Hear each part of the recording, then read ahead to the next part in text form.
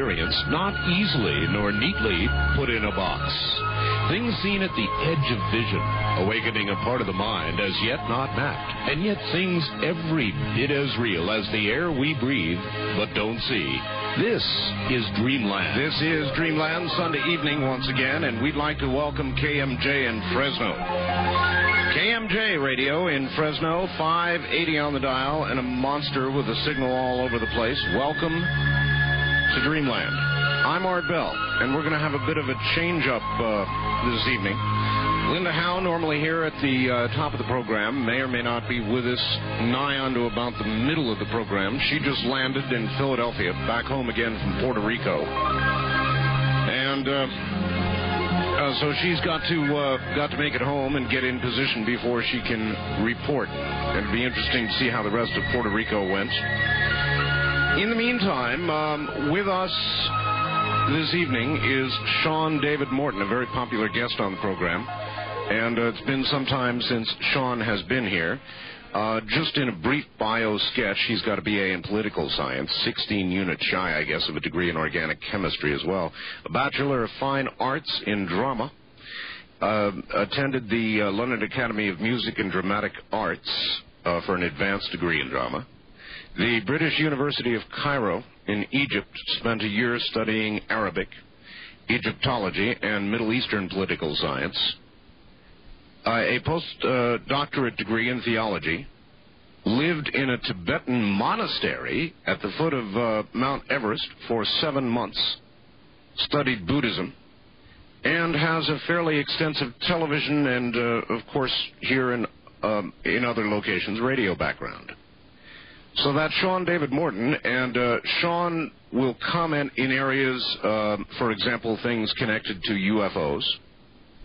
Um, Sean has done uh, for some time predictions, uh, of which uh, his record looks pretty good. The Northridge, Northridge uh, quake epicenter magnitude date missed by 10 days.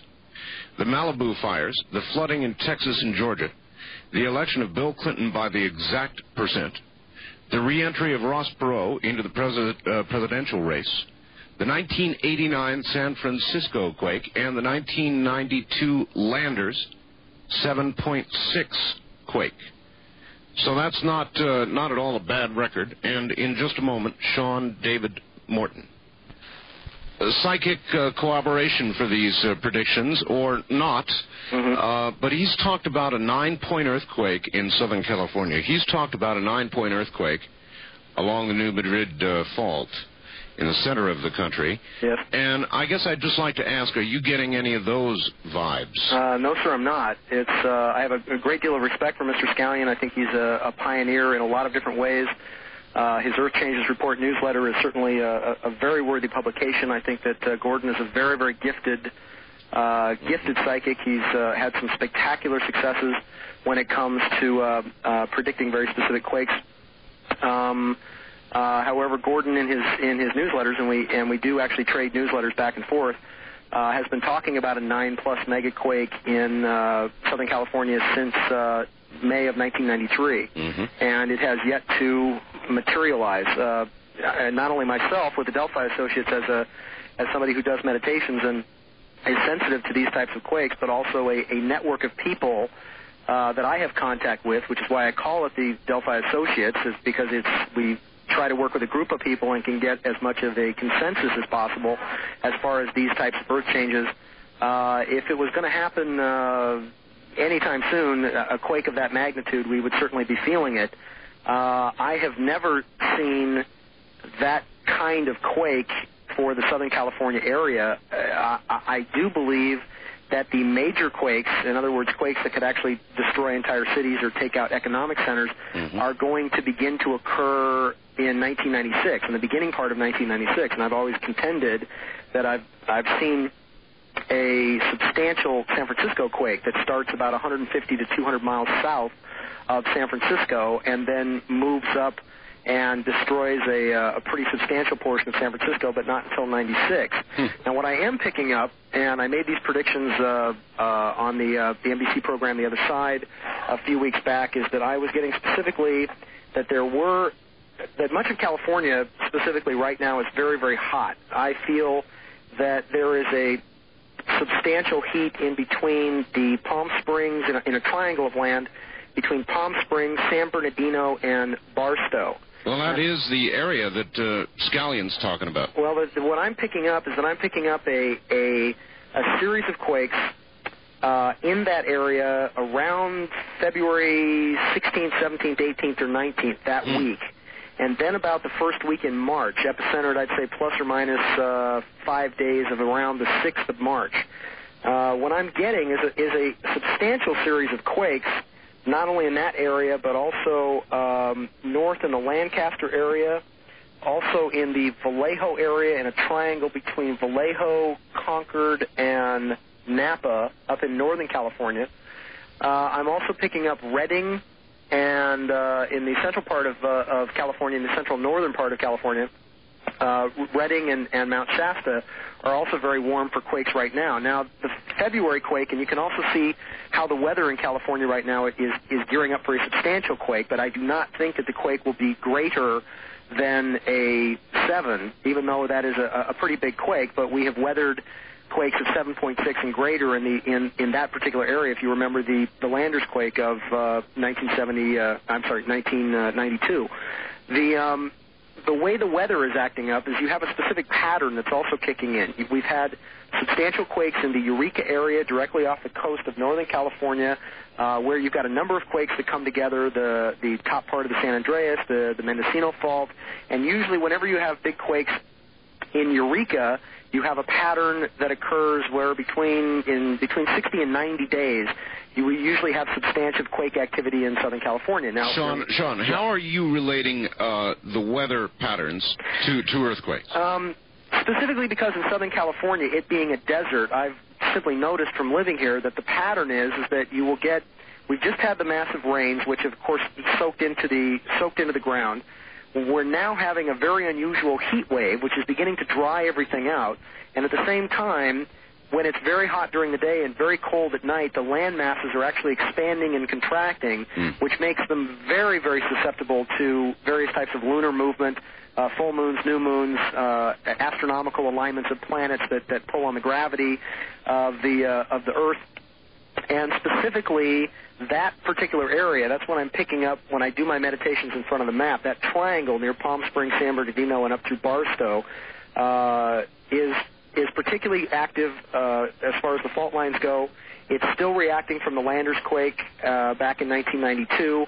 Uh, and that area of the desert, even though it also got uh, a great deal of rain, is actually expanding and contracting with the very hot days and the very cold nights, and of course the water drying drying out uh, sure. the area. When you say that you do meditations before a map, I take it that's how you uh, uh, divine uh, geologic problems. Yes, I get a, a map of the United States and also specifically a map of California.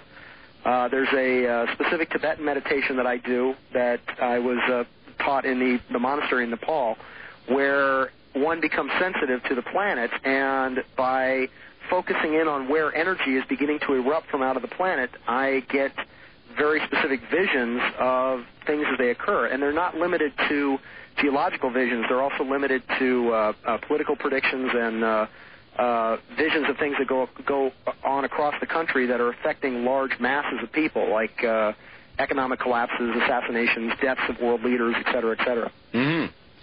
So in this case, uh, you know, as, as I said, I have a, a, a I have a great deal of respect for Mr. Scallion, and, and I, I don't want to sound as if uh, uh, as if I don't. Uh, we sort of agree to disagree. It is, as I said, my belief. Well, for one thing, it seems as though you have a general agreement. Both of you were saying California is very, very hot right now. Yes, in those specific locations that I was uh, that I was just talking about, and I do believe that there are going to be a series of quakes that will occur, that will actually begin in, in 1996. Uh, there will be a quake, as I said, substantial quake activity late February, the early part of March, both in Southern California and in the uh, Vallejo area just north of San Francisco. Uh, but I don't think anything greater than a 7, and I do think that they're going to be epicentered uh, uh, well outside of the cities. Mm-hmm. It is also my belief that there has been a spiritual veil of protection that has been thrown over California, specifically because of the fact that there is a great deal of spiritual development that is going on here, a great deal of uh, political activism, And the whole point of making predictions like this is to warn people in advance so that they can do the proper prayer and meditation that can actually avert many of these catastrophes from occurring in advance. The the whole point of this type of earthquake prediction is is that is that people have a tendency to gather and build cities upon planetary ley lines or, or dragon lines, if you will, lines of force. And as this energy begins to rise up out of the planet, depending on how people process the energy through their own bodies and process it properly through prayer, meditation, brotherhood, love, community, uh, and all of the positive aspects, that energy then moves through them and creates a, a, a benefit in the planet around them. You called it a spiritual veil of protection. Um, where is what power is this, Sean? Where does it come from? It comes from the people, you're saying. I think it comes from the people themselves. I think enough of the people themselves are starting to behave in the, the proper manner that they have created what I call biorelativity. And there's not a single religion on earth, not Buddhism, not Baha'i, not Islam, not uh, uh, Judaism, not original Christianity, that does not believe in, in what's called a biorelative aspect, that the way in which you behave in a certain moral fashion, in a certain honorable fashion, uh, in a certain aspect of your own happiness and your own peace has a great deal to do with what occurs in, in the planet around you, and that human beings are very much an interconnected part of that ecosystem, that biosphere, if you will, that is a biorelative aspect of how human beings interact not only with each other but also interact with the land. That's and a kind of a spiritual collectiveness. Exactly. Mm-hmm. Exactly. What about what about how individuals affect themselves? Um, uh, do they have the power, for example, to control their own health? Uh, oh, absolutely, 100%. You see, as a matter of fact, most uh, most diseases and maladies have a great deal to do with the fact that uh, people are not participating in life, and that health is an aspect of participation. And that when they participate in their lives and also with the lives of others, that's an aspect of health. When you when you love what you do, you rarely get sick. When was la- when was the last time you had the flu, Art?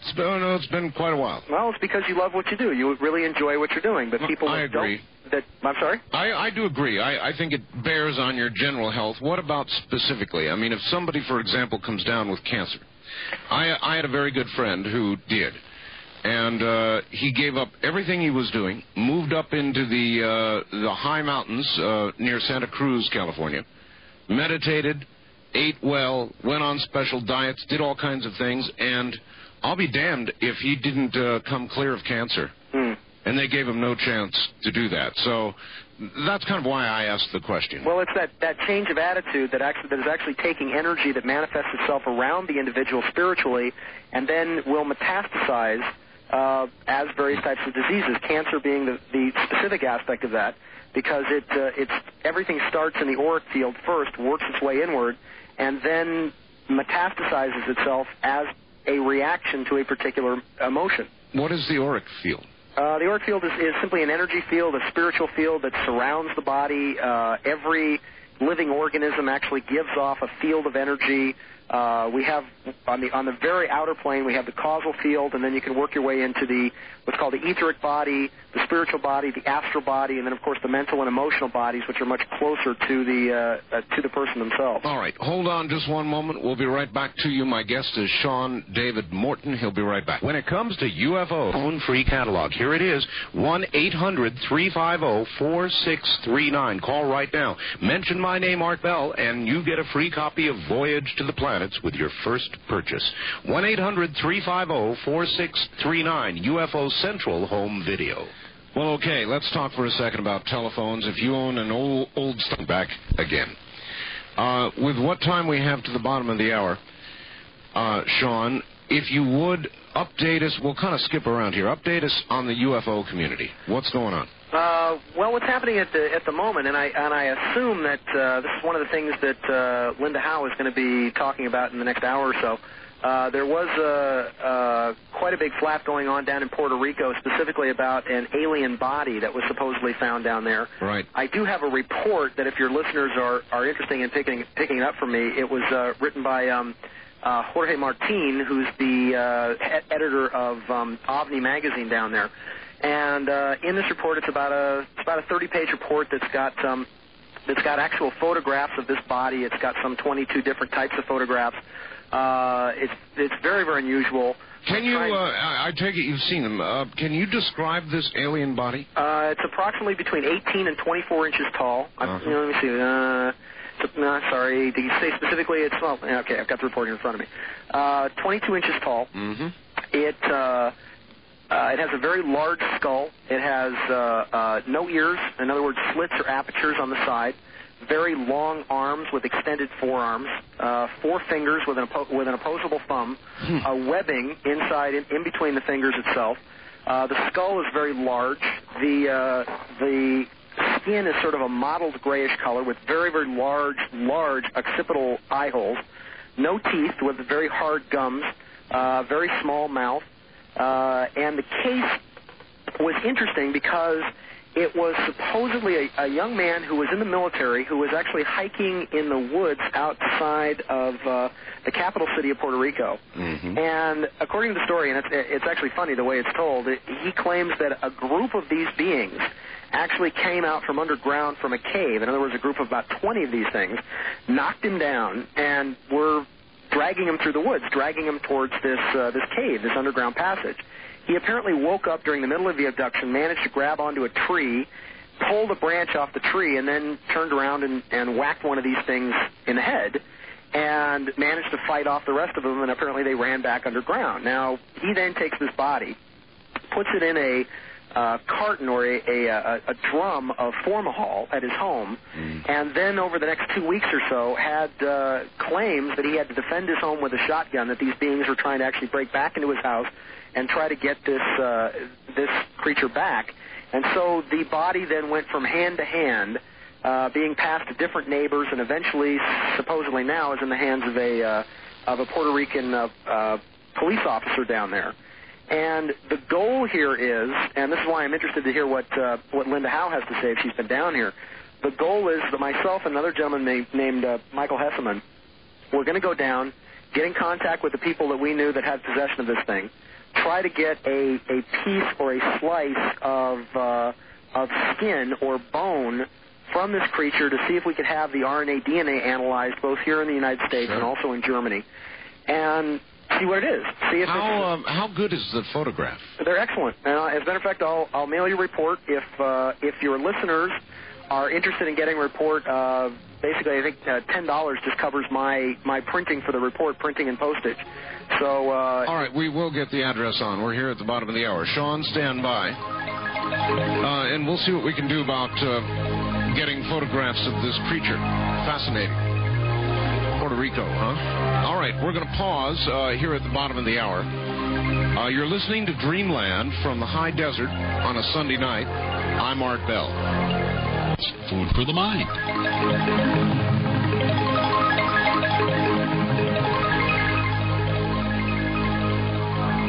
Tonight's broadcast is an encore presentation.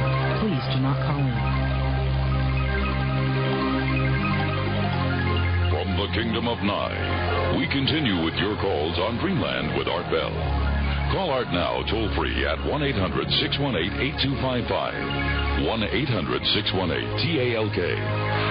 First time callers, area code 702 727 1222. 702 727 1222. Or the wildcard line at area code 702 727 1295. 727 1295 in the 702 area code.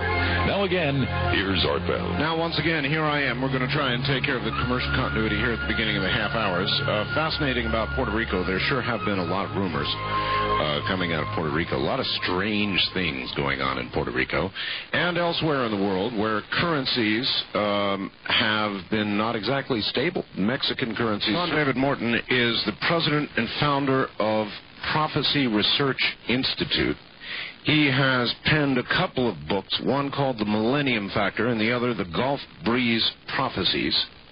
And he now has a newsletter called the Delphi Associates Newsletter. And we were kind of on that uh, when we left uh, the bottom of the hour. Uh, Sean, are you there? yes, I am. All right. Uh, so you've got a newsletter, and I, I'm sure you would like to tell people how to get it. Absolutely. The, What, what, the- first, tell us what's in your newsletter. What kind of stuff is in there? Uh, specifically, political predictions, economic predictions, uh, uh, updates on uh, earthquake predictions, uh, Earth changes, commentary on uh, on what's happening all around the world, specifically with uh, inside information that I get from very very high level uh, both military intelligence sources and uh, uh, sources within the within the media. So it's a uh, it's a heck of a bargain. I've got a lot of your listeners who subscribe to it. I was I was inundated by your listeners the last time I was on the show with uh, hundreds of new people that subscribe to the newsletter. It's uh, $45 a year for 12 issues. Um, you know, it's 12 pages long, comes every month, uh, and it's just jammed with uh, all of the information and all the stuff that you can't get anywhere in the establishment media. And of course, uh, is a perfect complement to uh, to your program, specifically because people are we we talk very much about the same things that you cover in your program uh, in the newsletter every month. Mm-hmm. And uh, Uh, you, you, like a professional baseball player, are held to a standard, your batting average, so to speak. yes, Uh, how are you doing? uh, pretty darn good actually. I mean the. Uh, uh, let me see. To give you an example, the Northridge quake, the infamous October issue of the newsletter, predicted the Malibu fires. Uh, the Northridge quake uh, missed it by 10 days. I, I predicted that the quake would happen between the 23rd of December and the 7th of January, and it was actually the 17th. Uh, to give you an idea of a, of a miss, I had predicted that uh, I thought that there was going to be a 6.6 quake in Landers, specifically on the 19th of November, and instead the quake was only a 4.7. But it was still a substantial quake on the exact date in the exact location. Um, and I've I've had some spectacular hits uh, as far as uh, as far as misses go. I, I try to be very very specific in my predictions. Uh, the visions are usually usually I would say 95% correct. Sometimes my interpretations of the visions, however, uh, leave something to be desired. All right, I, I would like to understand uh, the context of your visions. When you have a vision, I take it that it comes after a period of meditation. Is that correct? Yes. All right. Yes. Uh, what form does it take? Uh, you've got to draw. This is radio, so you've got to kind of draw a mental picture for us. What do you see? Well, I'll I'll be drawn when I'm when I'm doing specific geological predictions. I'll be drawn to a particular area of a map where I'll feel energy coming over the map and run my hands over the map to the point of where I feel energy coming out of it. Then I'll meditate on that very specific point of the map, and I will then get feelings in my body, specifically as far as maybe earthquakes or uh, hurricane, wind, uh, um, rains, floods, which is how I predict, predicted the, the, the flooding in Texas. Um, and when it comes to political predictions as well, I, I begin to get names. Uh, I, I begin to get sometimes letters uh, and, and numbers from the predictions. Uh, just recently in the newsletter, I was talking about that the first 10 days of December were going to be a very dark time around Washington, D.C., and that I specifically was seeing death at the White House. And my interpretation of that was is that uh, someone was going to Sounds do something to Bill Clinton, and instead there was a man shot on the sidewalk right in front of the White House. So uh, that gives you an idea of, of how sometimes the visions themselves are correct. It's my interpretations of them sometimes that are that are a bit off. So we actually had the death at the White House the first 10 days of December. It uh, it wasn't the person that I expected it to be. However, it was a uh, uh, a person who, of course, was uh, shot down by a security guard who was wielding a knife directly in front of the White House. Uh, who, How, how do you uh, try and perfect the process of uh, interpreting what it is that you see? Um, a lot of times in the in the newsletter, I'll, I'll simply put it down as as to what the vision is, and uh, then specifically point out what it is I'm looking at, and then uh, uh, what the vision looks like, and then I'll and then I will separately put what my interpretation of the vision is. Uh, at the same time, because we are called the Prophecy Research Institute, I have some very excellent people that work with me.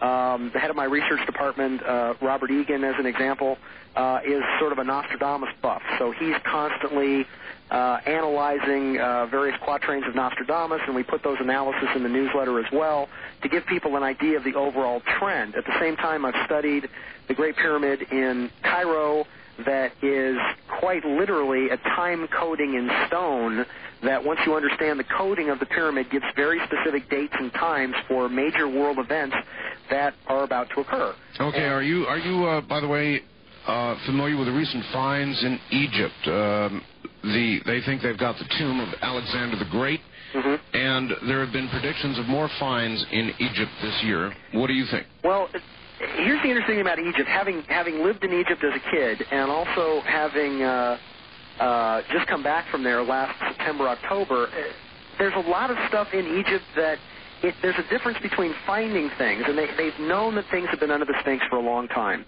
Um, I believe that they're going to find the entrance to the Great Library of Atlantis, and I mean I can tell you where it is. There's a if you go off the right paw, there's a a, a gazebo, sort of a, a, a town square that's just across from the Sphinx where there's a fountain on a raised hill, and it's it's literally the only raised object between the Sphinx's paw and the Nile. And for many years, the townspeople have known that there's something under there. The problem is, is that once you report that there's something, say, under your property and, and it's an antiquity, the farmer will usually lose his property because it, it, it comes up to the, uh, it becomes the property of the state. And they Sure. basically come in and bulldoze your house and take away your farm and, and start digging everything up. So there's been, uh, it, they'll find massive new things, I think, in Egypt because I think that the, that the people are ready to begin talking about some of the history and some of the culture and uh, allowing the government to come in and, and have a little bit more of a hand because they, they see that uh, Egypt is desperately trying to break away and become independent, specifically based off its tourism. And of course, the best way to do that is through these archaeological finds. But the uh, they will find underneath an entire catacomb, which is what Edgar Cayce talked about for many years. Many years spoke of the fact that there was an Atlantean library left over from a previous civilization, uh, at which the Sphinx is the actual entrance to this. And now. Uh, they just did a documentary called Mysteries of the Sphinx, and Robert Watts, who was the producer of that, was a very good friend of mine. And using this new ultrasound technique that was developed by Dr. Jim Dilettoso, who became famous for analyzing all of the UFO photographs in the Billy Meier UFO case. Using this technique now, they're ultrasounding underneath the ground and finding all sorts of fantastic new uh, caverns and chambers and, and relics from Egypt's past. Wow. Uh, so much to talk about. You've got a prediction down here about Bosnia as the beginning of the Fourth World War Yes. and the destruction of a U.S. aircraft carrier in the Adriatic. Now, uh, I, I must have missed the Third World War, uh, or has that still not happened? Well, uh, technically, you can actually look at the the the war Desert Storm as literally being the, the the Third World War because the Third Great World War was literally 150 some odd countries allied against Saddam Hussein. Every single country in the world was was represented in that war, and so technically one would count that as a as a third world conflict simply because there were so many countries. NATO was involved, the United States was involved, England was involved, France was involved.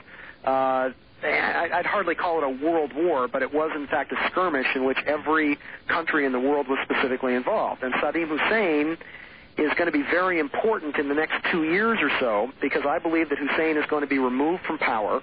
And when Hussein is removed from power, you're going to see a, a bloodbath in the streets. Some 50 to 60,000 people that are directly connected with uh, his political party are going to be torn apart by the Iraqi people, and that will be the beginning of the alliance of Iraq and Iran. And those are the two specific countries that need to be watched as forming the beginning of what's going to be, called, be known as the Islamic Jihad.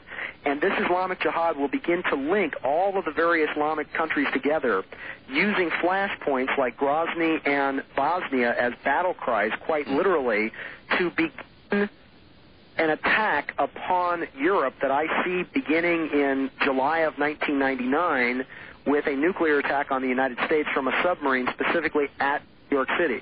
A nuclear attack from a submarine, an attack on New York City? Yes, in July of 1999. This is one of the very specific predictions that Nostradamus gives that's very much a, a linchpin for many of his prophecies. And, and information that's just come to me as of, as of yesterday was a, a very good friend of mine who's very high up in uh, military intelligence was raving on the phone yesterday that there is a very clear and present danger right now from submarine attack to the United States because they've dismantled something in the Atlantic called SOSUS, which is the Sonic Oceanic Submarine Underwater Surveillance System. It, it took us almost 25 years to build this submarine surveillance system. We used to have hundreds of people at listening posts, primarily listening for Soviet submarines, and now it has been so defunded by the Clinton administration. Wow. All of these cults, that, all of these cuts that he talks about, are virtually all military cuts, and now we have out of I think a, a staff of almost a thousand, which were manning these listening posts both in the Atlantic and in the Pacific. Now we're left with four guys that are So basically listening to this. You're telling me then uh, the SOSUS system, for all intents and purposes, is not even operating. Correct. And again, that is a system that detects underwater submarine activity. It's how we track um, uh, Russian submarines, Exactly. submarines in general. Uh, do you have any idea where this attack will come from? What what uh, what nation? It'll be Iran. Iran. And Iran is going to be where the third great Antichrist is going to come from. And, and when I say Antichrist, a world leader specifically that will link the Islamic countries together that will be involved in the last great world war against the United States. What I'm seeing for what's going to happen in Bosnia is there's going to be peace in Bosnia specifically until late June or July. There's going to be a massive effort to try to get out the the American, well, actually the UN troops out of Bosnia who are going to be caught primarily in Bihać. There are two aircraft carriers that are going to be stationed in the Adriatic. One is going to be the Eisenhower, and the other one is going to be the USS Enterprise. And I see the Eisenhower being either sunk or, or crippled by Serbian missiles. Hard to do with a, a United, States destroyer, but Yes, literally you are going to see the Eisenhower in the news as being attacked by Serbian positions.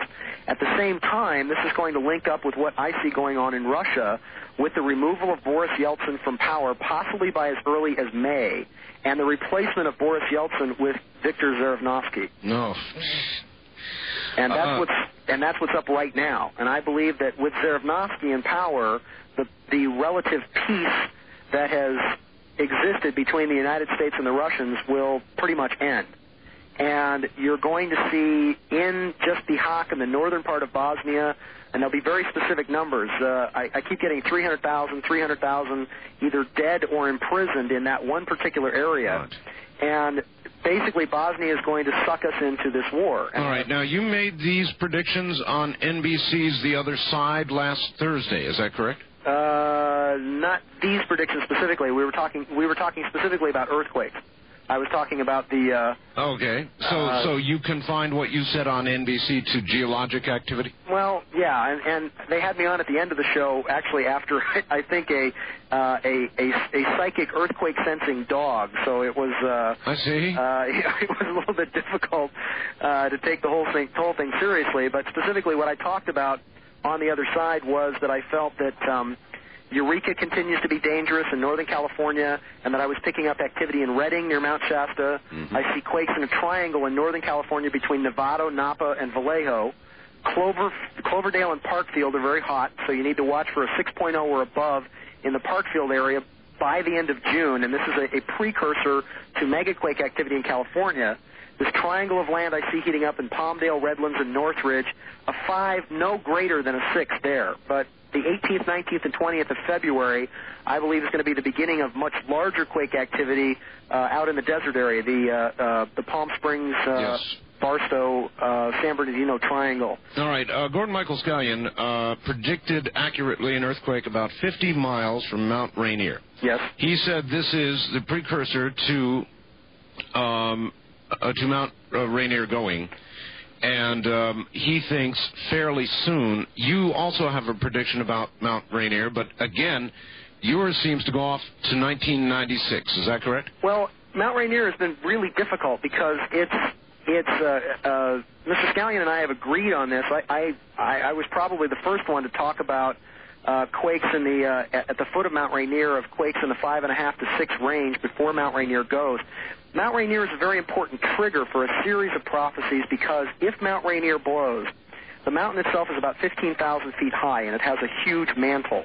And if Rainier goes, it has the potential of dumping so much soot and ash into the atmosphere that it would have the capability and, the, and, and actually uh, weather experts are claiming that the the very expected likelihood that the ash from Mount Rainier will lower the temperature of North America by almost three degrees. Mm. Now, to give you an idea of this, when Mount Pinatubo exploded in 1991, Pinatubo dumped so much soot into the atmosphere, which was then carried into the United States, that it lowered the, the temperature of North America by about 0.5 to about 1 degree, which is what started causing a large number of these uh, uh, of the massive weather-related catastrophes that you've seen, the the record winters because of all of this uh, all of this there. Um, now I've been talking about Mount Rainier for some time, and and what, what about the immediate um, uh, consequences for uh, people, for example, in the Seattle area? Um, well, it'll be a lot. It'll be a lot like what happened in Mount St. Helens. I mean, obviously they're going to be under a great deal of soot.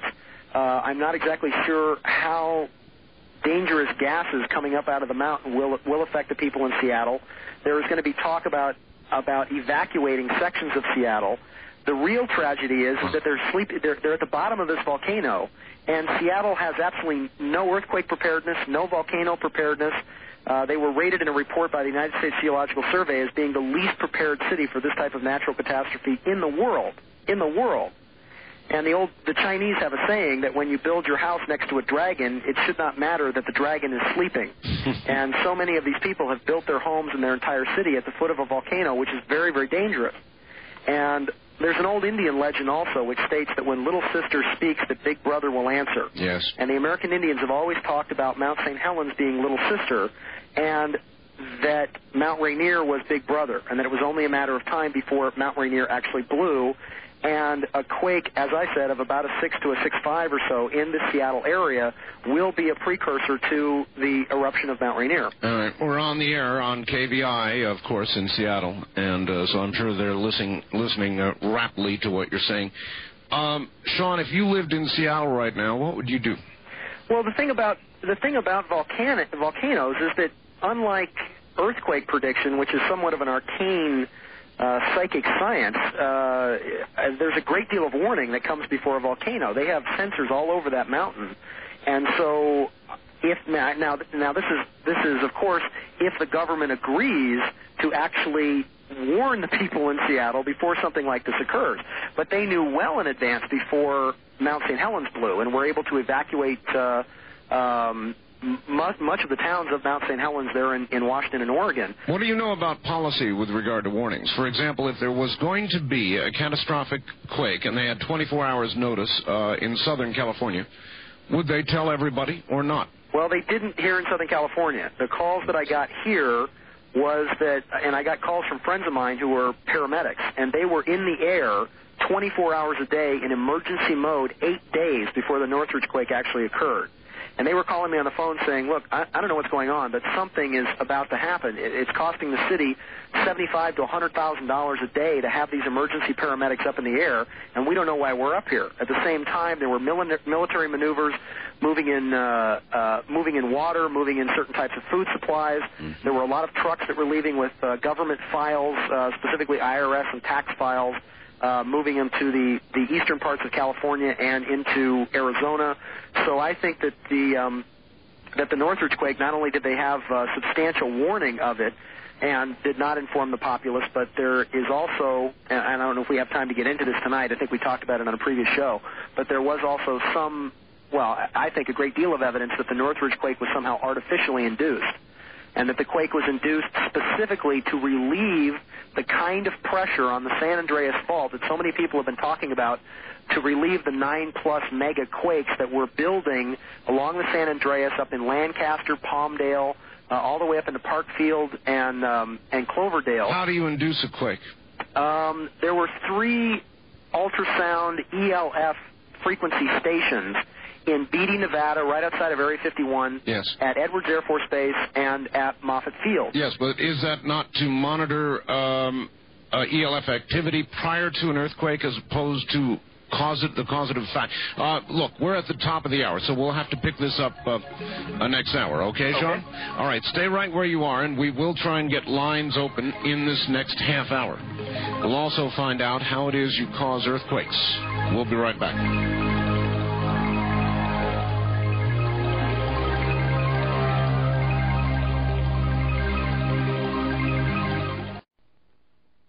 Radio, 580 in Fresno, the big one in Fresno, to the Dreamland Network.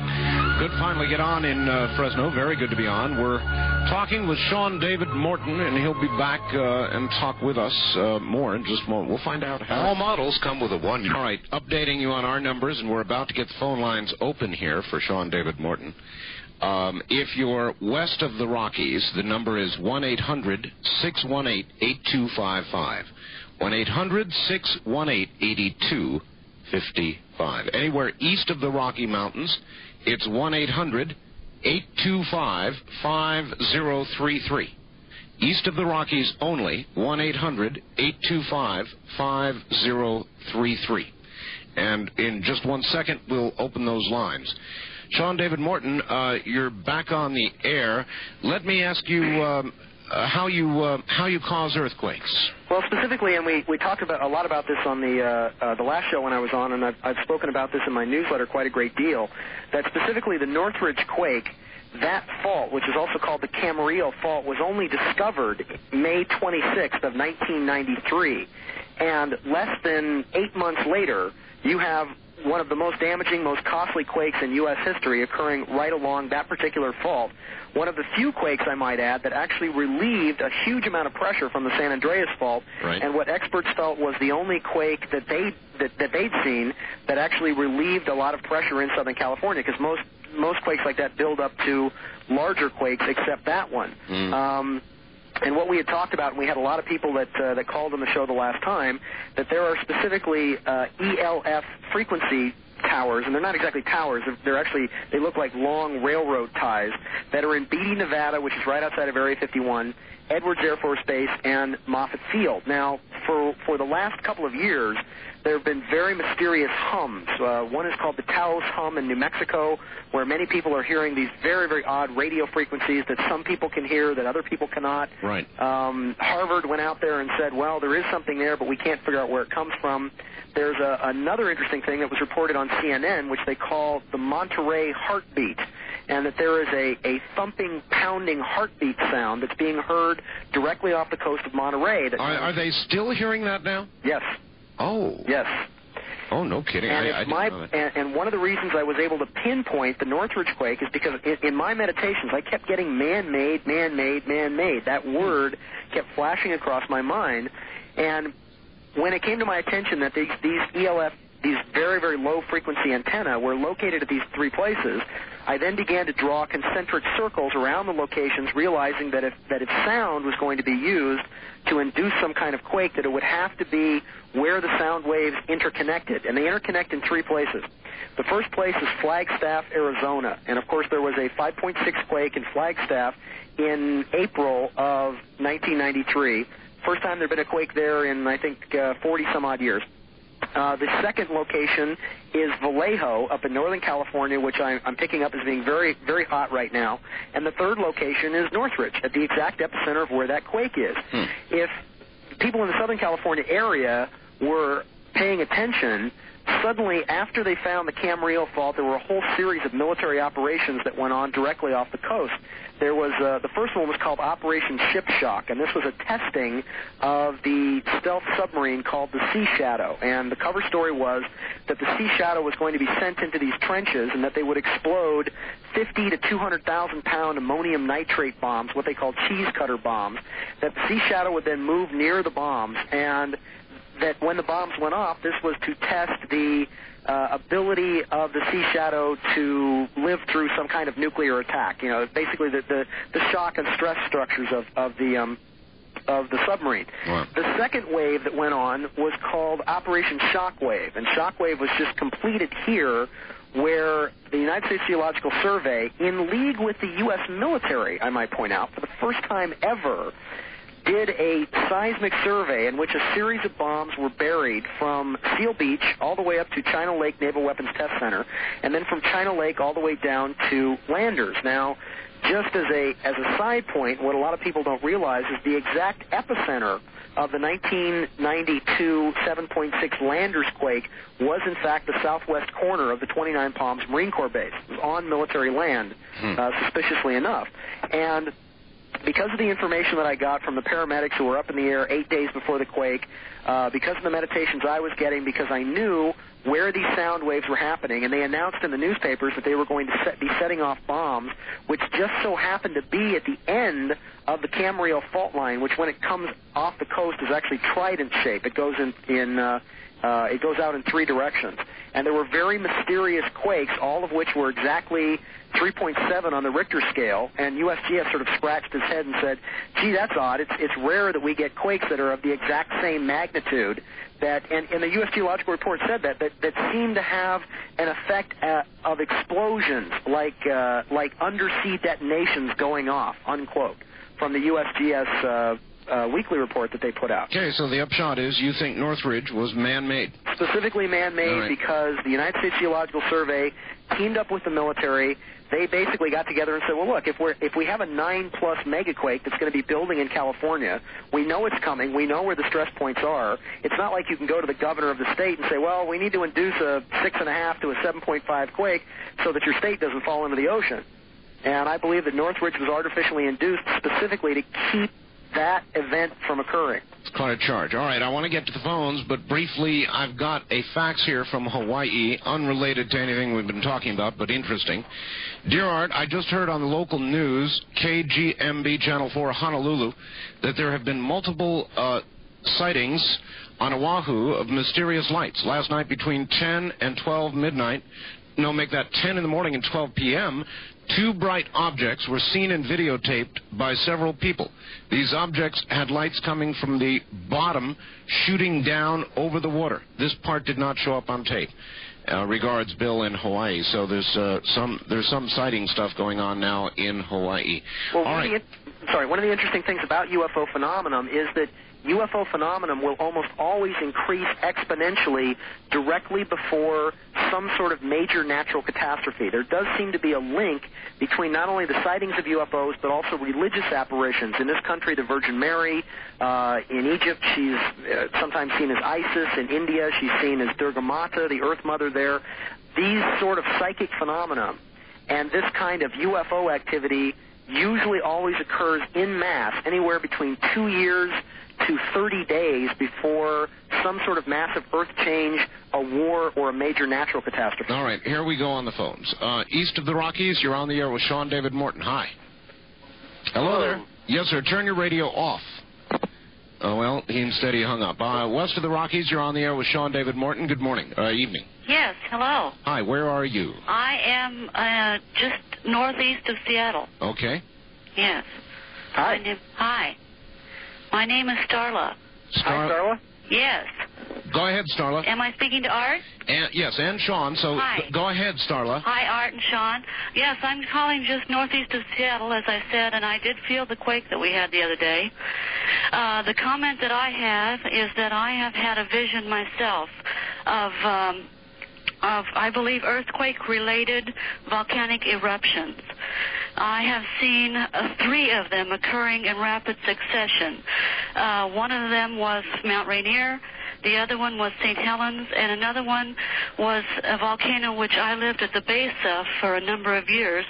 It's a smaller one, but uh, it's a dormant volcano called Mount Si, which is just um, east of Seattle, going over the pass towards Spokane. So you're saying that you see Mount St. Helens actually erupting again? I see all three of these erupting, yes, and uh, I think it may be a um, kind of a chain reaction thing.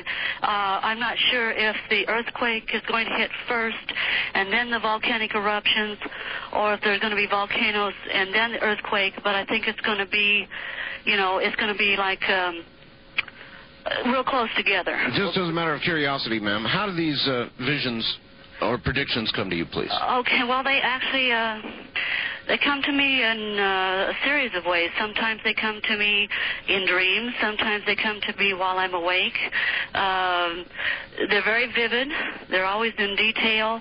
Uh, I've had a lot of a lot of visions come true ever since I was a small child. All right. Uh, thank you very much. Sean, uh, a general question about people who have themselves uh, visions. I, I've had a lot of people calling me up on the phone lately saying things like the psychic hairs on the back of my neck are standing up. Yes. And so a lot of people are feeling it. Um, do most people have the ability to receive these visions, Sean? Are we just blocking it out, or the ability is getting i- i- is basically growing more and more because as the earth changes become more severe, humanity, in order to survive, is going to have to pay attention to this ability. And every single person on the planet within the next couple of years, as these earth, earth changes get greater and greater, I don't care if you sit on the couch, watch TV, drink a six pack of beer, and eat pork sandwiches all day, you are going to get more psychic and more sensitive. And you're going to start listening to your body, and your body is going to start telling you, or, or spirit as well, is going to start telling you where to be, where to go, and where to move. well, is it is it really human beings becoming more psychically uh, sensitive, or is it a matter of the psychic scream becoming louder?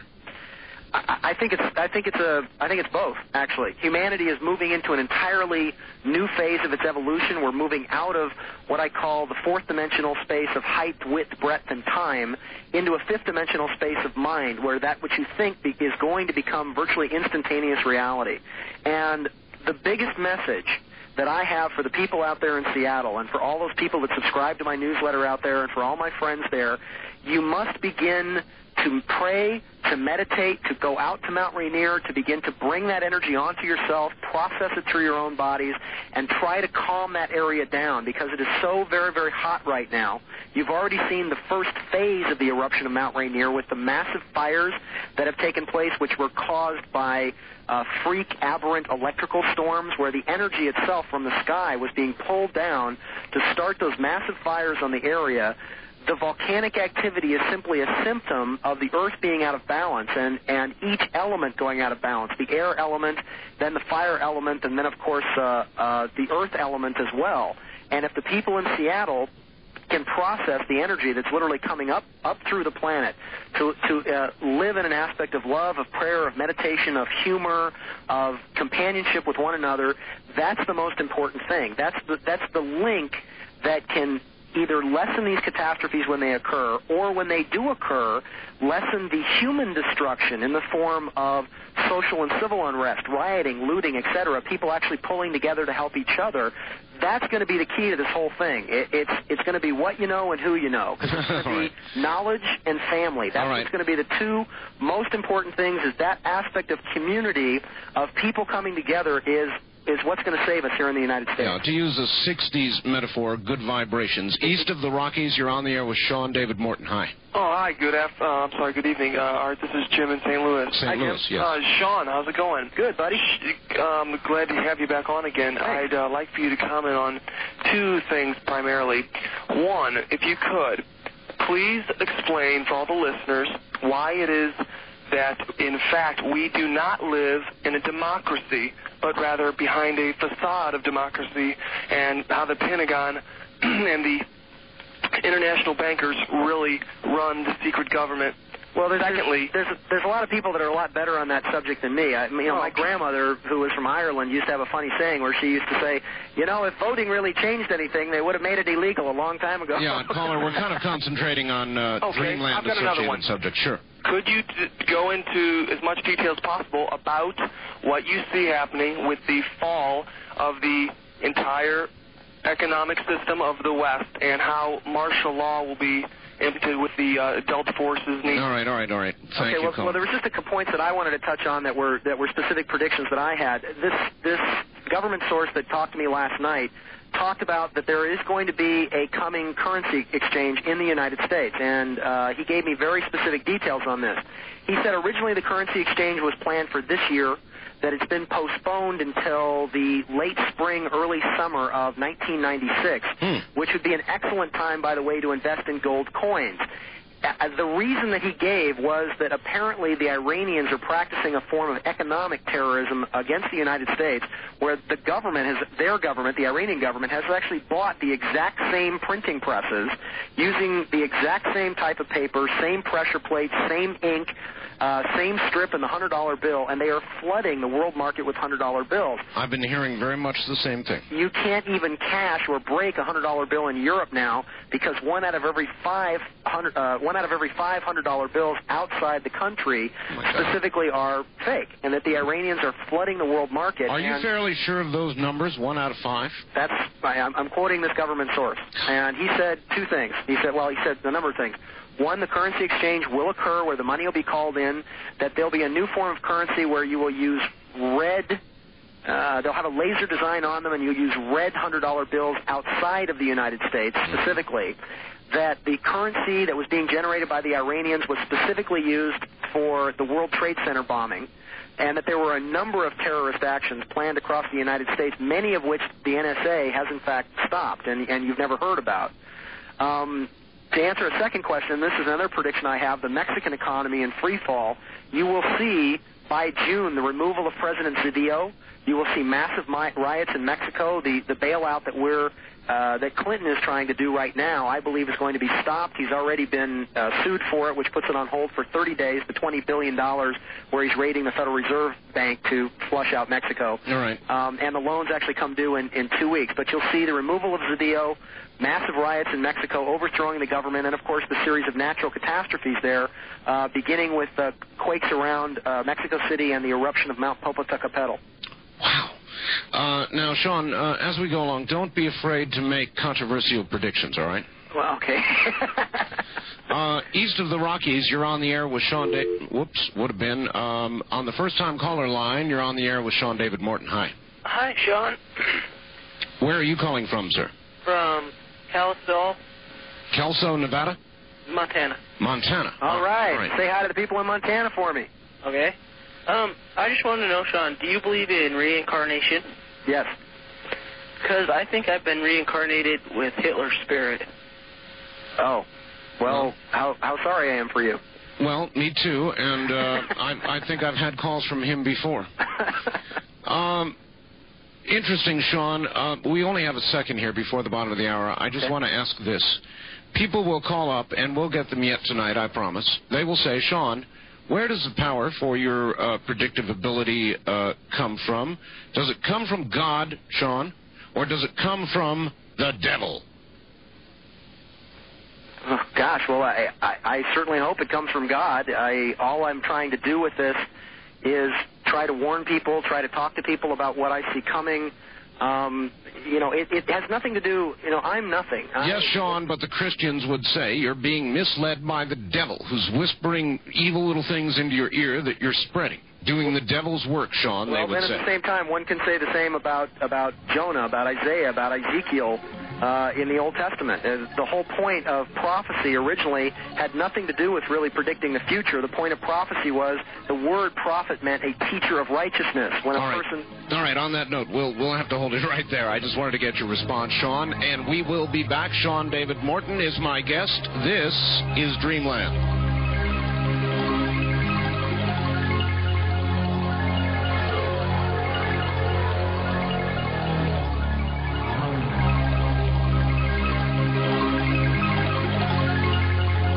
Kingdom of Nine. this is Dreamland with Art Bell on the CBC Radio Network. Good evening, everybody. It certainly is. I'm Art Bell. My guest is Sean David Morton, but we're going to, uh, as I mentioned at the top of the program, do things in uh, slightly a different order.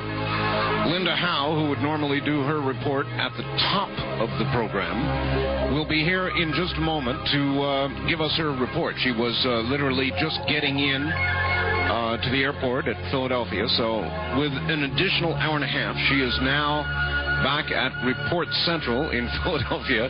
And in a moment, we will indeed have Linda Howe. Ever fan of today and for known, internationally acclaimed, roving all over the place wherever the action is. Uh, here comes uh, Linda Howe, all the way from Philadelphia, and I presume just back from Puerto Rico. Linda Howe, good evening, Linda. Yes, Art, that's right. I was flying in from Puerto Rico tonight and the plane was late. That's why uh, we're doing this a little later.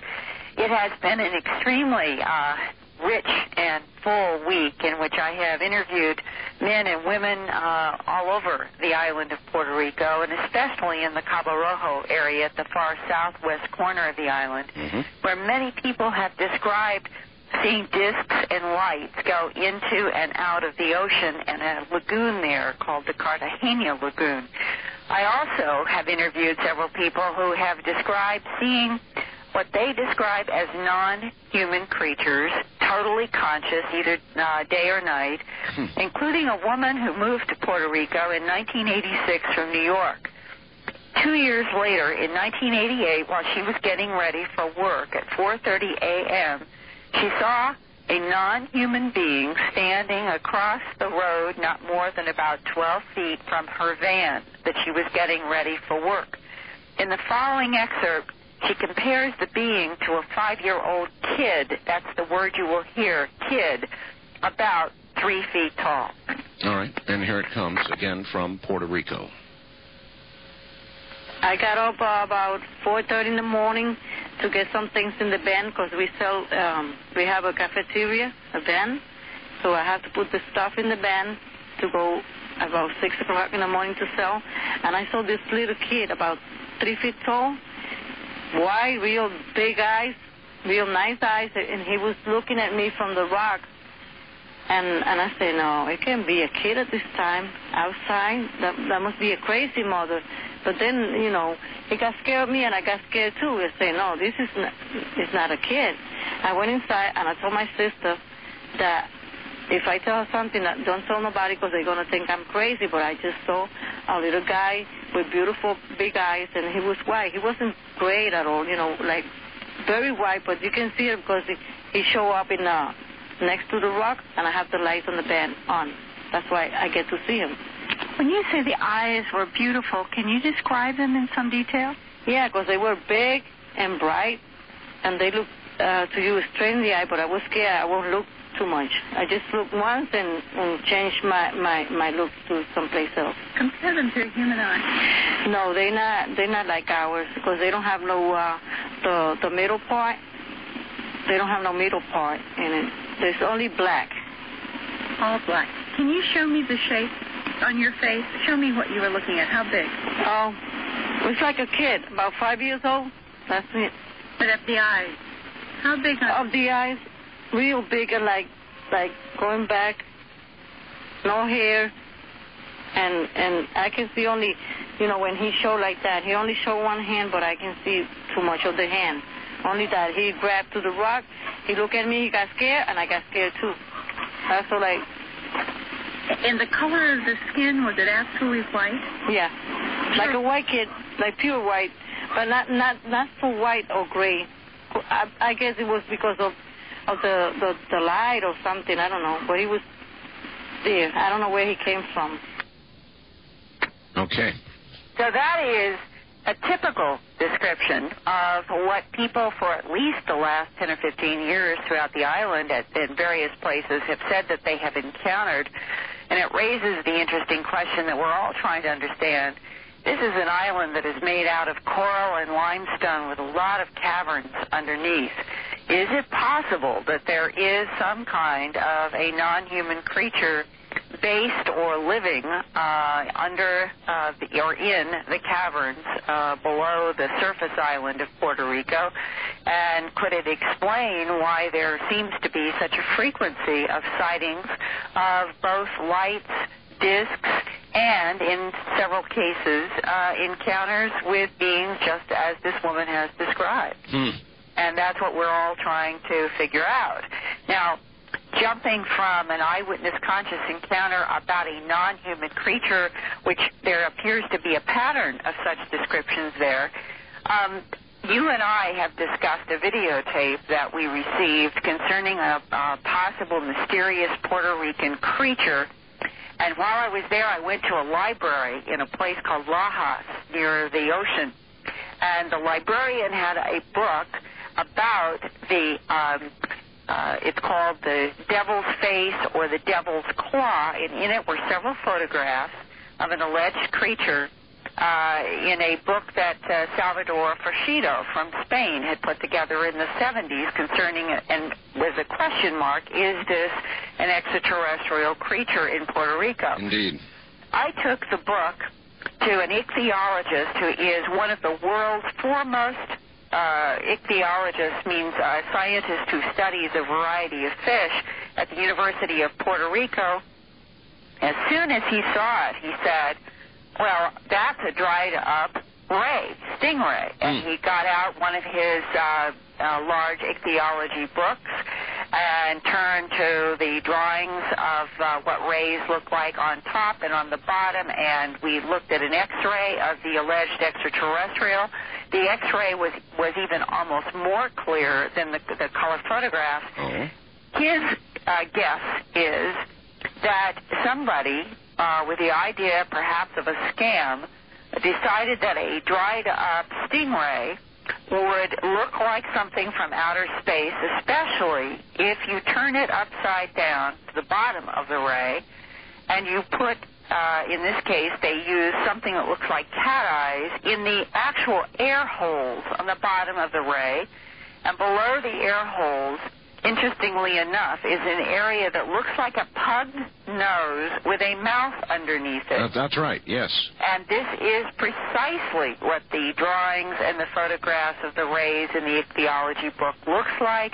It includes the long, what are called clappers, uh, which in the uh, book on the so-called uh, extra- extraterrestrial, they were uh, you, they look like somebody had uh, made them as to be legs.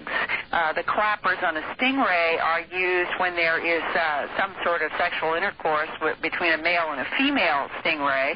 And there's also a long tail on the stingray, which, uh, when you look at these creatures from the side, in some of the cases, the tail has been doubled up on the back into an odd bet shape, which the ichthyologist immediately identified as being uh, the curled up tail of the ray. And I personally, after comparing the library book from uh, the Lajas Library with the ichthyology book, um, my sense of things and the ichthyologist's art is that somebody has tried to pawn off uh, by putting artificial eyes in the ear holes at the bottom of the stingray, something that uh, they passed off as being something from outer space, and it's not. It's from the ocean.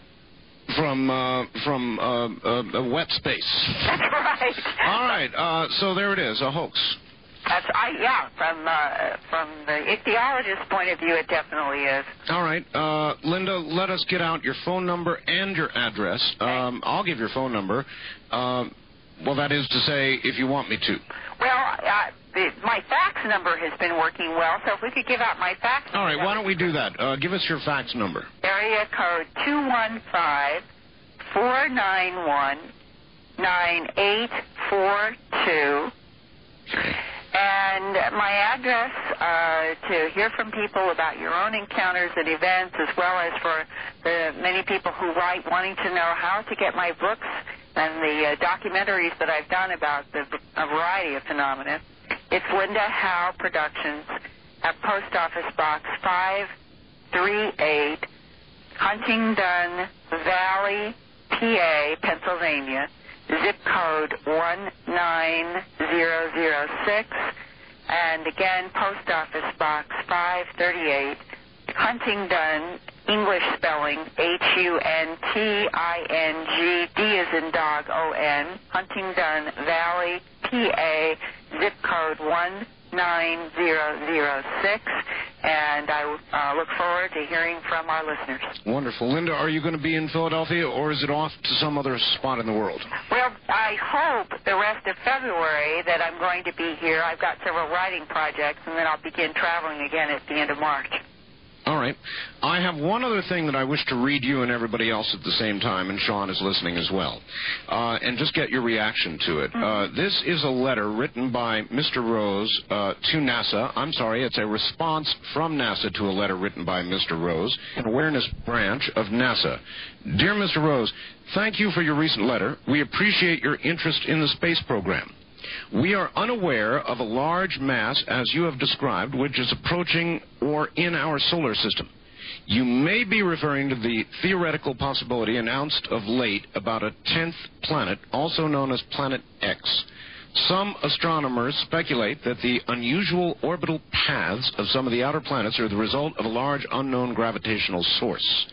This source, they postulate, may be an unknown planet perhaps four times the size of Earth that is following an orbital path considerably angled to the orbital plane of the other planets. At any rate, NASA spacecraft, the pioneers and voyagers to the other planets, and astronomers around the world are looking for Planet X. This is being done by computational methods, optical, infrared, and ultraviolet studies, and by measuring gravitational influences on the pioneers and voyagers, which are now exploring the limits of our solar system. Someday, we may have an answer to the question. And he adds uh, at the bottom, Mr. Rose does, aren't do you dare reveal this uh, on Dreamland? Well, of course I do. I just read the letter. Um, but that is interesting, Linda. It seems almost an acknowledgement, or there it is one, that NASA is indeed busily looking for the 10th planet. Well, uh, who's, who was uh, Mr. Rose and who was, is he M- NASA? Mr. Rose is just a listener. Uh, this was signed by Carl Christofferson of the Educational and Awareness Branch at NASA. And uh, what is the date of that letter? Uh, let me see. Uh, February 9th. Well, I, I'm very interested in that, and I will. Was it? If, let's see. We're at February 5th today, so was that a year ago? 1988. Oh, long time. I'm sorry. Long time ago, but uh, it did indicate that NASA was interested in and pursuing um, uh, the uh, the possibility or the, or, or the tenth planet uh, postulation. Well, uh, seven years ago, if they were looking into that, uh, the question would be, where is their state of knowledge today? And I am going to continue to stay in touch with the astronomer from the Shoemaker-Levy investigation at MIT, uh, and I will talk with her uh, about this and also about Machholz 2, which really is a comet broken up into five pieces coming into our solar system, and see if I can get any update on uh, this issue of some large mass in the, in the solar system. I would appreciate it. Many of my guests have talked of it. Linda, we will speak with you next week. All right, and thanks. Thank you, Linda. Good night. Uh, that's Linda Howe, of course, and uh, from Philadelphia. She is normally with us at the beginning of the broadcast. Now, uh, I think it would be interesting to get a reaction. Let's go back to Sean Morton. Sean, are you there? Yes, I am. Um, Sean, well, wait a minute. Let me put you on hold and over on, in another place here. Uh, let's see if I can do this. Okay, I, I think we've got you on now, Sean. Okay, it was Uh, great. It, actually, it was uh, uh, it was great to hear Linda. She's got fabulous stuff. She's an, she's a very nice lady. She's an excellent investigator, and uh, uh, she's the best there is. And she's one of the people that's uh, that, that's really done a, a huge amount from the creation of the of the TV program Sightings. Uh, you know, which I had the pleasure of being on the premiere episode of. She's um, anyway, she's doing great work, and I'm I'm uh, I'm glad you have her on your show every week. Do you want to react at all to uh, what she had to say about the supposed creature photograph? Um, I don't think she was talking about the same photograph. I mean, I, what I'll do, Art, is I'll send you, I'll send you a copy of the photograph in the uh, in the report called uh, "Alien Activity in Puerto Rico" by Jorge Martin. All right. Uh, I'd be happy to send any of your listeners uh, uh, copies of the. Uh, uh, it's about a 30-page report. Um, you know, basically, if they want to send me 10 bucks, that just covers my uh, that just covers postage and handling and uh, and copying the report. And later on tonight, I'll actually fax you a copy of the uh, uh, fax you a photograph of it. All right. And uh, you tell I'll be me able what to. it is. Yeah. I'll- manta rays, unfortunately, do not have little tiny fingers. All right, I will be able to immediately uh, tell you because I have this other photograph uh, in a high resolution computer picture, so I'll be able to tell you right away. Okay. Well, I'm I'm not sure. You know, she didn't have. It it might be that she might be looking at a different thing. She didn't specifically talk about the. Uh, uh, you know the fact that it was that it was in Formahall, that uh, you know uh, this policeman had it. Um, I, I I wasn't sure if we were talking about the same thing or not. All right, uh, east of the Rockies, you're on the air with Sean Morton. Hi. Hi, how you doing? Fine. Where are you, sir? I'm at home. Where is your home? oh, Shamrock, Texas. All right, Shamrock, Texas. Go ahead. Oh, yeah, I just calling to say uh, I don't see how people can cause earthquakes. Um, Well, it's not a question of people causing earthquakes. The, the, the ability to induce earthquakes has been studied by, and the, and the three premier sci- uh, scientific communities that are studying it now are the United States, uh, Red China, and Iran. A lot of this information came out when Colonel Oleg Kalugin, who was the former uh, uh, dirty tricks master spy of the KGB, when Russia fell, he began to dump. Uh, uh, massive amounts of files on the West about specifically different types of scientific uh, scientific knowledge that the Russians were investigating. Kalugin was the one many people might remember him from the headlines because he embarrassed Bill Clinton when Clinton was trying to open up normalization of relationships with Vietnam. And it was Kalugin who came out and said that not only was it routine for American POWs to be taken to Russia from North Vietnam, but in fact that there were still American POWs alive in Russian gulags. How does all of that relate to man causing earthquakes? Specifically because Kalugin related that uh, he bragged about the fact that the Soviet Union caused the earthquake in Armenia in 1989, which killed 45,000 people by detonating an underground nuclear device in Semiplovotsnik. No kidding. He talked about the fact that this technology was being uh, very intricately stu- uh, studied by what he said then were the highest bidders, the United States, Iran, and China. All right. Well, we don't we don't have much time to the top of the hour. Caller uh, there in Texas, um, had you heard any of this before? No, no, I haven't. I hadn't either. Well, Kalugin's, uh, Kalugin is probably the best intelligence source that's come out. He's been interviewed in Time magazine. Uh, he's given a number of interviews where he talks specifically about earthquake technology. And if you want to go back also, uh, just very quickly, to Nikolai Tesla, Nikolai Tesla talks about the fact that he could, with a two horsepower device, actually split the Earth open like an apple by pulsing a, a pounding sound down into the planet using a seismograph that picks it up at the top of the wave and then tapping it again. And it's it, it's no more difficult when you know how to do it and have the devices to do it than tapping the waves at the top of a bathtub and then making the bathtub overflow. It's all based on sympathetic resonance that when you can pulse a wave into the earth and then tap that wave when it comes back, it's just a matter of tapping a wave at, at the top and the wave, of course, grows exponentially each time it's tapped. All right, uh, Sean, hold it right there. We're at the top of the hour. I want to remind anybody we've got kind of a temporary number to get a copy of this program or any other we do on Dreamland. Call during business hours, area code 503 664 8829. 503 664 8829. We'll be right back.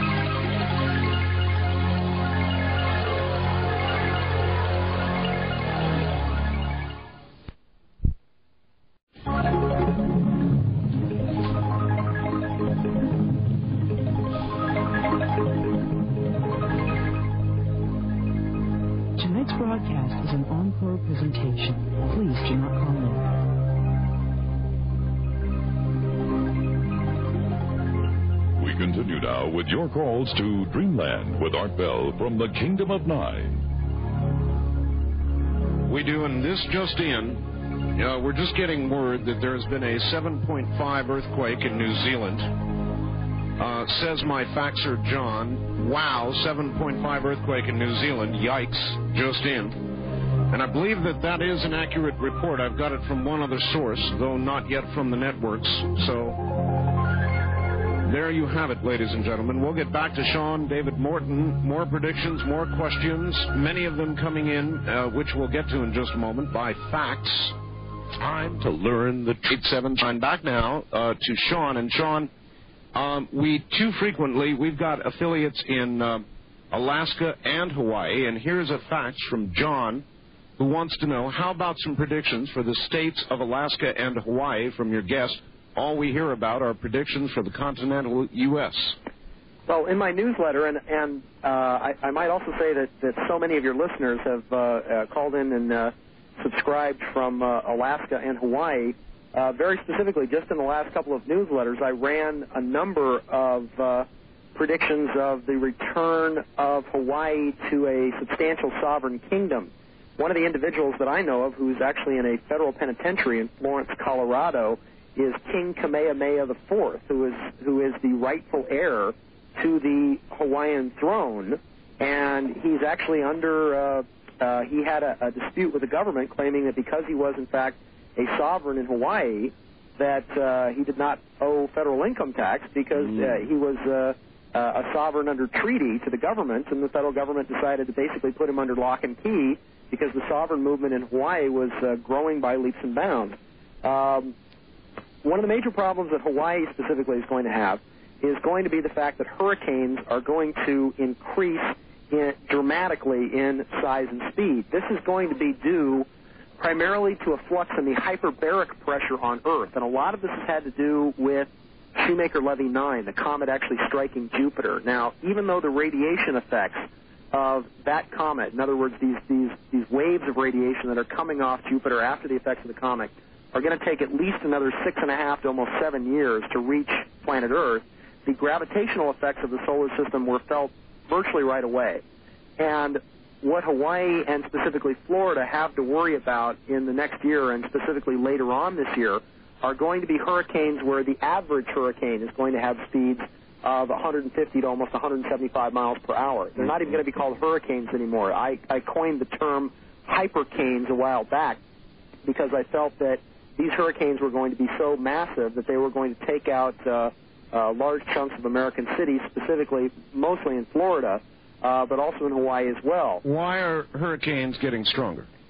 It has to do with an increase in the hyperbaric pressure because the hyperbaric pressure has fluxed.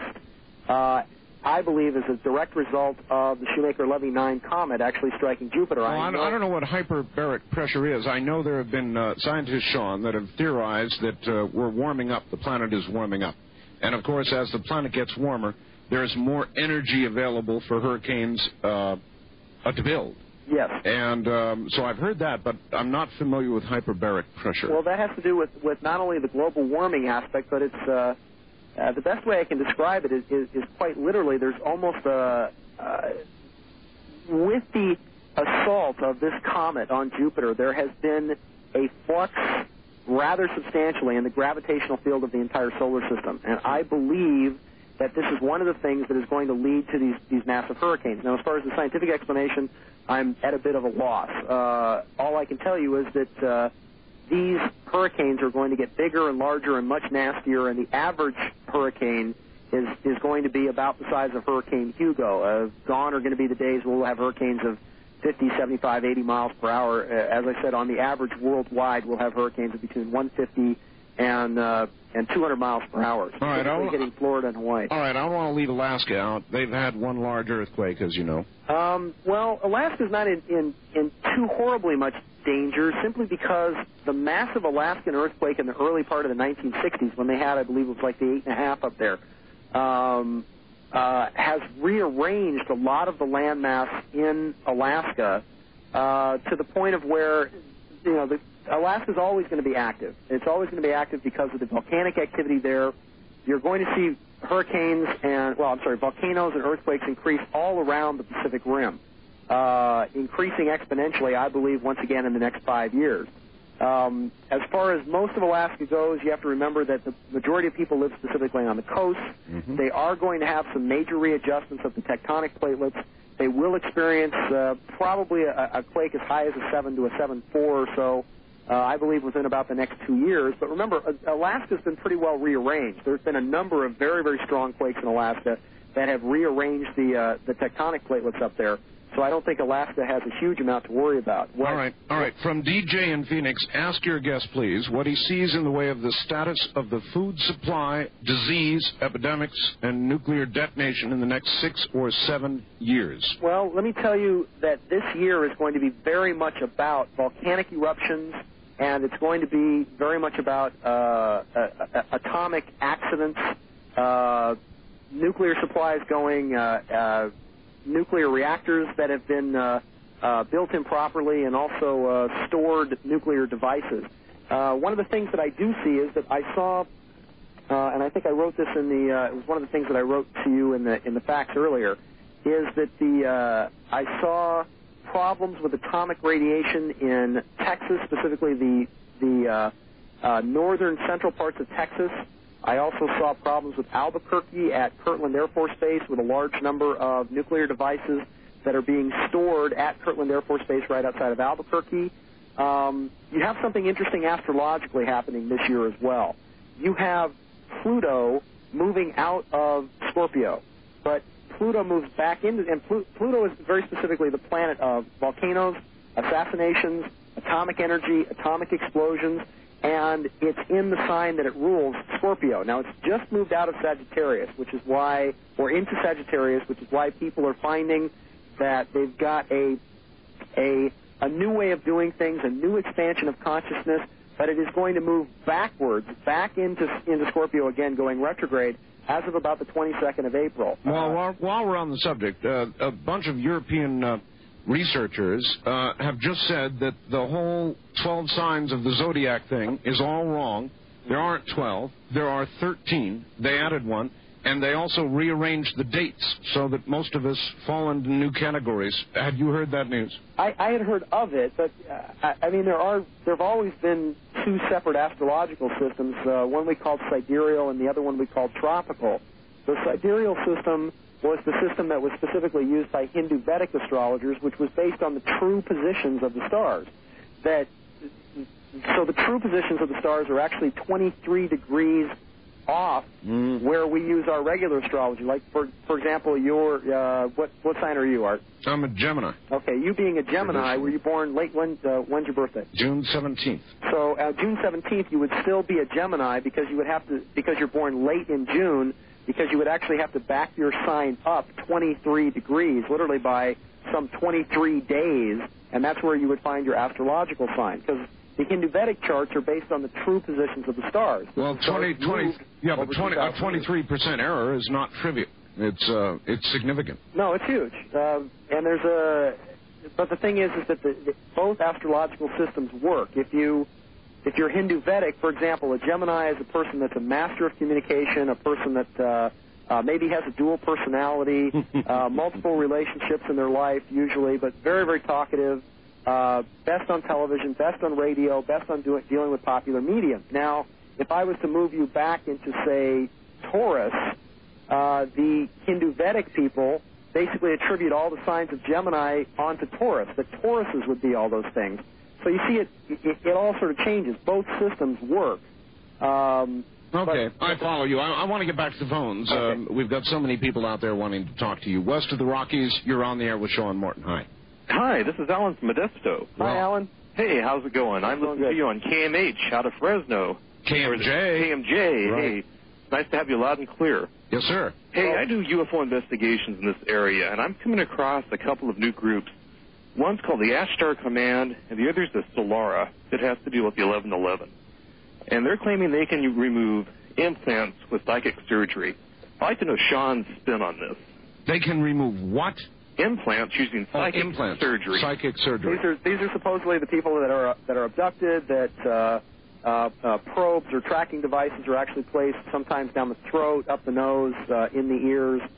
Um, I don't know. I've, I've I've heard of these people. It's you know it's not my job to say anything negative about people.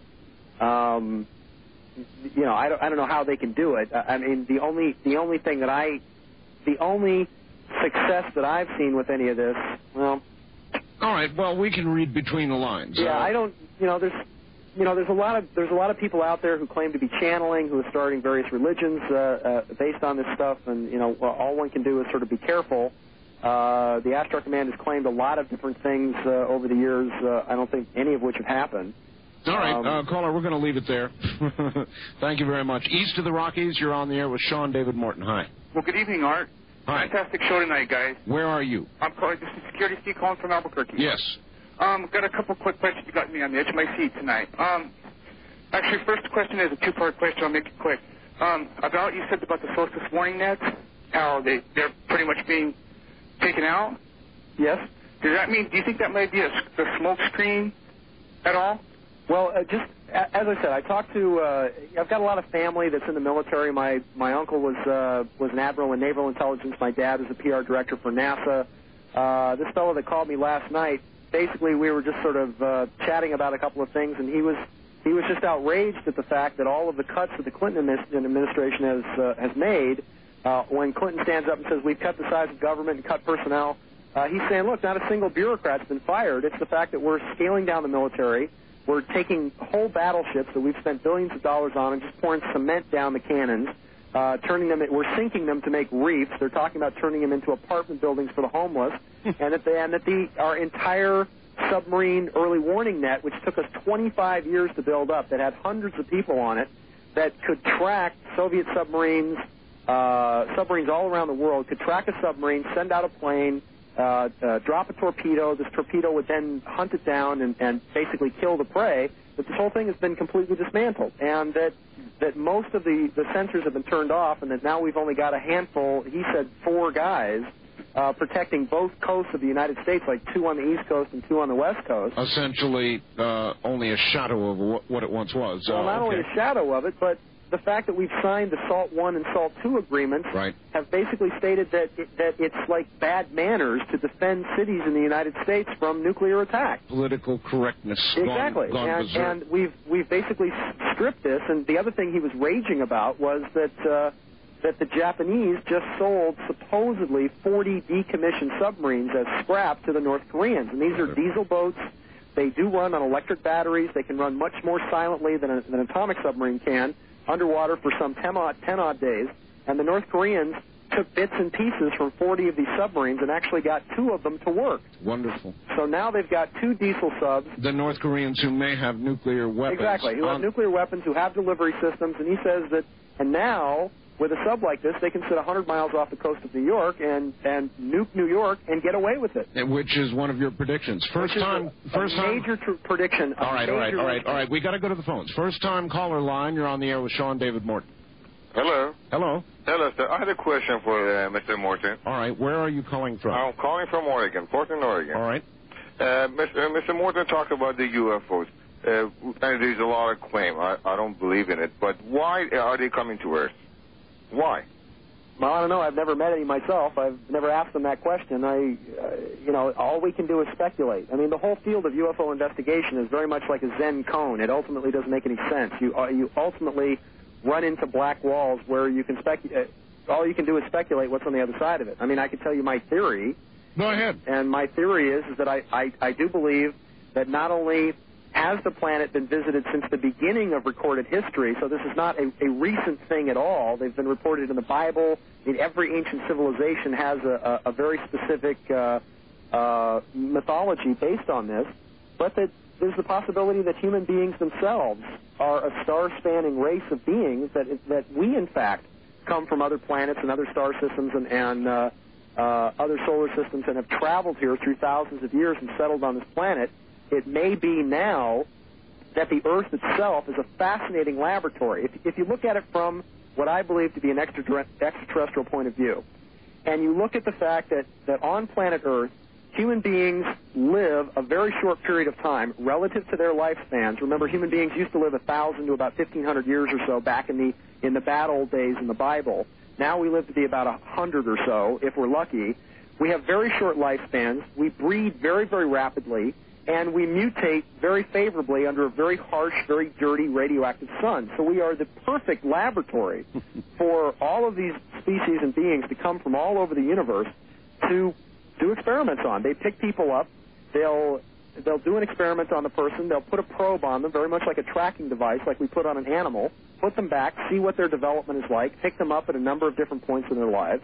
Uh, other people have put forward the theory that this one particular race of grays is at the end of a genetic breeding curve, and that they are crossbreeding their race with humanity. The abductees that I've interviewed and, and had close personal contact with claim that they're taken on board the ship and that they are shown uh, dozens, sometimes hundreds of children that are crossbred between our race and theirs because they claim that their race is in fact dying out. Now, as I said, these are speculations that are based primarily on what I believe to be first-hand contacts uh, with these creatures, and, and all we can do is speculate. There I- is- I really- is no proof. in Yeah, the I, I understand. I really like your uh, uh, your characterization of us as uh, beings uh, sort of mutating out of control wildly under a dirty radioactive uh, a sun. That's an interesting perspective. Uh, east of the Rockies, you're on the air with Sean David Morton. Hi.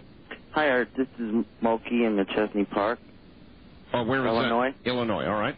Um, I wanted to ask Sean if um, w- if there was any one uh, vision that he had about UFOs or anything that made him believe. I mean, one that stuck out more than all the other ones that made him believe that UFOs existed. Well, the, great, the greatest thing for me was, I, I mean, I'd never seen anything like this before. I grew up with it when I was younger, because my dad was a PR director at NASA. You know, Gordon Cooper was a good friend of ours.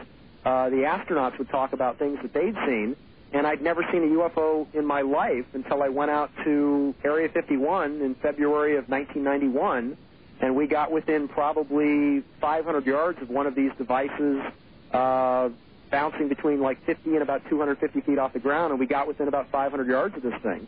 And then I started going out to Area 51 and taking big gangs of people out there, and we'd all rent a bus and we'd go camp out, and and um, and then I found the the mountain peak that looks right down on the base, and of course from uh, my efforts and a lot of efforts like uh, like Bob Lazar and, and George Knapp and some of the uh, Okay, that's what you've done in the real world. But what he asked was, have you had any visions that relate to UFOs? Oh, the visions of it? I thought he was talking about personal experience.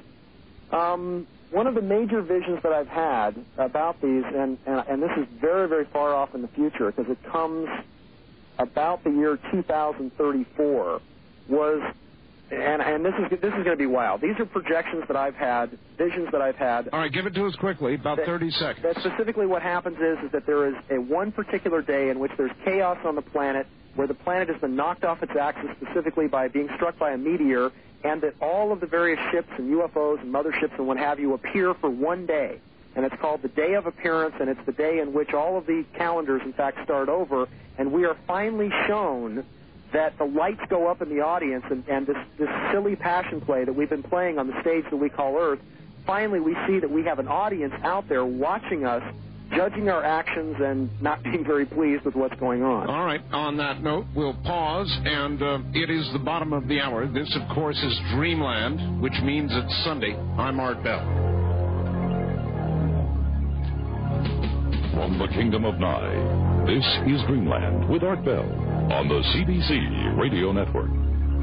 It is, and I'd like to wish you all good evening from the high desert, where it's a beautiful night, bright stars, and all the rest of that sort of stuff. I'm Art Bell. My guest is Sean David Morton, and he'll be back in just a moment uh, with more. And I've got a fax here that I want him to. Con- in in fact, I'll read that right now so he can think about it. Sean, I'd like to know your opinion of uh, the chance of UFOs being time travel craft from a technocratic future society where humans have moved underground to escape the environmental disasters and wars prophesied to be coming. I believe this explains one, why they have not contacted us, and two, their knowledge of geo- geologic formations. And so when he returns an answer to that one, fan a fire and watch it heat up well. Adding oxygen. Okay, now with respect to this fax from Youngstown, Ohio, Sean, uh, time travelers from the future. Well, it specifically goes back to what I was saying before, is that it, this is what's so fun and so fascinating and yet ultimately frustrating about the entire field, is True. that, is that uh, ultimately all UFO investigation is, is a Zen koan. It, it, it ultimately doesn't make sense. You, you're you're always led to that, that black wall in the maze where you can only speculate what's on the other side. It is So- true. So it, it's as good a theory as any. Uh, yes. It's as good a theory as any. There, All right. there has to be some explanation as to why they seem to be indigenous to this planet. I mean, they've been here for thousands of years. The argument that's used against ufology is that why would these beings come from light years away and basically do nothing but abduct people and and you know fly around our cities? Uh, why don't they just uh, grab a few people, take some rock samples, and, and go home? All right. Uh, east of the Rockies, you're on the air with Sean David Morton. Where are you calling from, please? Howdy, Art. This is Jim. I'm calling from Milwaukee. Hi, Jim. I wanted to ask him if he had any predictions on Michael Jackson. Michael Jackson. Uh, no, because you know whatever happens to Michael Jackson, I don't think has any real uh, effect or bearing on the future of humanity. And the only reason I got into this in the first place was to specifically warn people about things that I saw coming up, and uh, uh, eventually try to help people start establishing uh, spiritual communities and uh, and spiritual brotherhood, so that uh, they can be ready for a lot of these things when they happen. All right. First time caller line. You're on the air with Sean David Morton. Hi.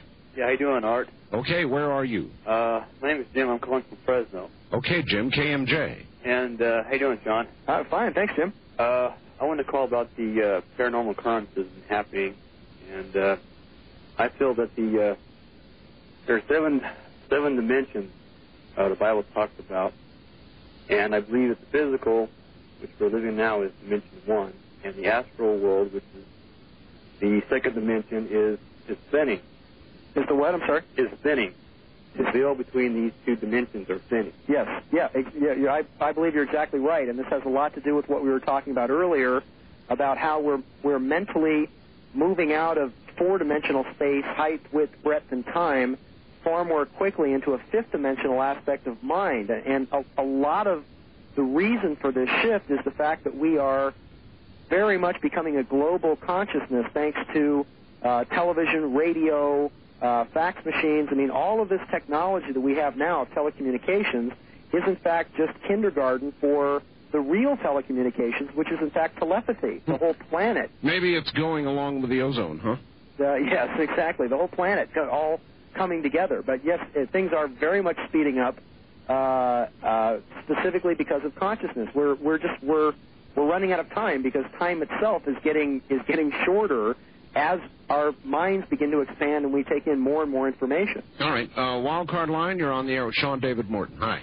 Hello, hi. Uh, my name is Carolyn. I'm calling from Seattle. Yes, Carolyn. And uh, my question is like, um, do you see anything happening in Seattle, uh, in Seattle, like any earthquakes in 1995? And if so, um, how soon should a person should move? And what do you see is going to happen in St. Louis, Missouri? Is St. Louis and Denver, Colorado a safe place to go from Seattle to St. Louis or Denver? Okay, okay. Specifically, what I what I've been talking about for quite some time is to watch for a series of earthquakes, uh, very severe jolts at the base of Mount Rainier near Seattle, um, in the range of about a, a six. As I said, as high as a 6.5, but no no bigger than a six.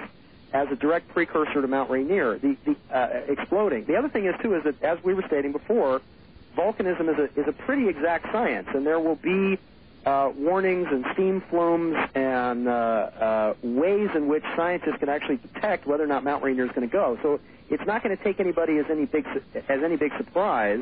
Uh, whether or not they'll actually evacuate uh, sections of Seattle before they get the signal, I'm not sure. As far as St. Louis, Missouri goes, yes, you, you'll you will have a great deal of problems with flooding in the Midwest this year. Um, problems with uh, uh, dusters, tornadoes in the central part of the United States. Uh, I believe that after the quakes in California come uh, later this year, I'm seeing the window being February, but larger quakes happening in in October. You're going to have eventually the uh, the eruption of the New Madrid Fault, which runs uh, generally through that through that area. All right, Sean. Uh, we have been. Uh, I, I've just noticed, if you think about it a little bit, the, the people sitting back on the East Coast right now must feel very smug. We've talked about the Midwest now, uh, the West Coast a very great deal, the Northwest a lot, even Alaska and Hawaii. What about the people back east? Well, specifically, once again, uh, the areas of Georgia are going to continue to experience a great deal of inundation.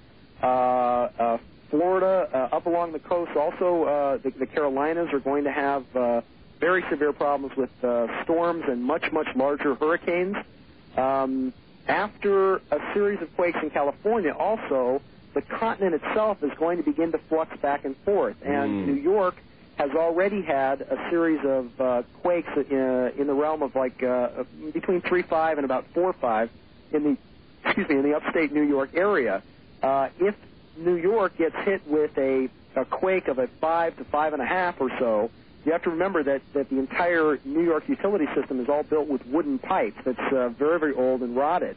The specific things that I see happening as far as New York goes is I do see, once again, the atomic attack on New York in, in July of 1999, which is a linchpin of, of a large number of the Nostradamus prophecies, specifically a nuclear attack from a submarine by a by the uh, Iranians, by the Islamic Jihad. Now, the first attack is actually the the city is defended. It does manage to knock out a great deal of the electricity in that entire area with bombs that are exploding uh, uh, above land uh, in the sky, probably uh, 30,000 to 50,000 feet up. Then areas of New York are going to be evacuated into into New Jersey and into the Meadowlands. I do see as part of the final phase of the war, and the United States will not be that involved in the wars in Europe. We will be involved in the opening volleys of the wars there, and then we'll decide that it's none of our business, and we're basically going to leave the Europeans to dry, to hang out to dry. But I do see in late in the year 2001 a pair of chemical bombs uh, exploding over both Washington D.C. and New York, that that drop a snow-like substance. And now, now, both of these cities, I believe, will be relatively evacuated by that time.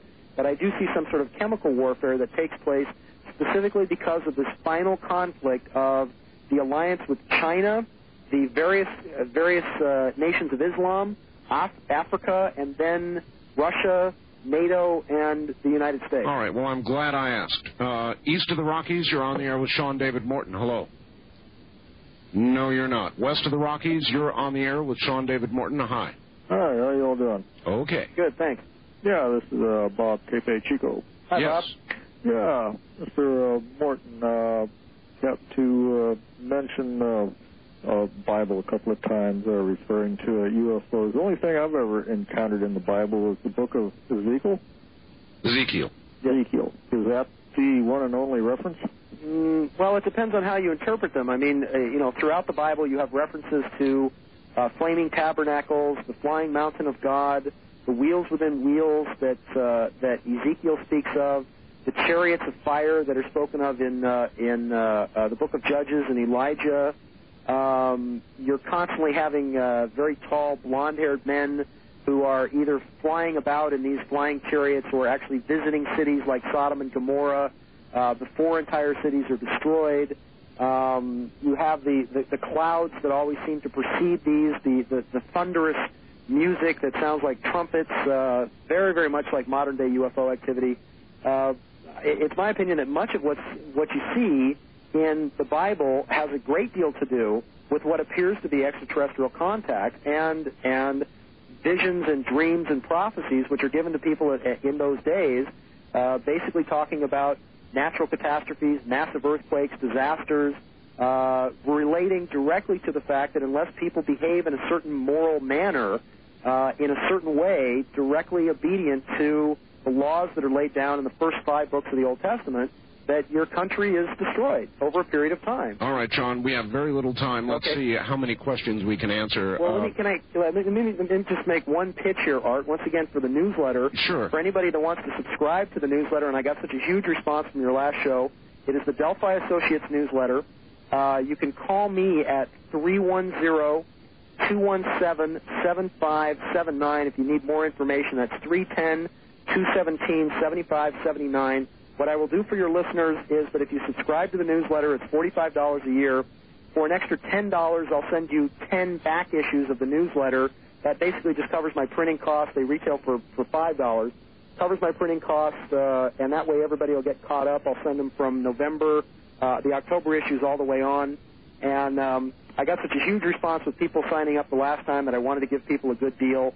Uh, so once again, $45 for a, a one-year subscription.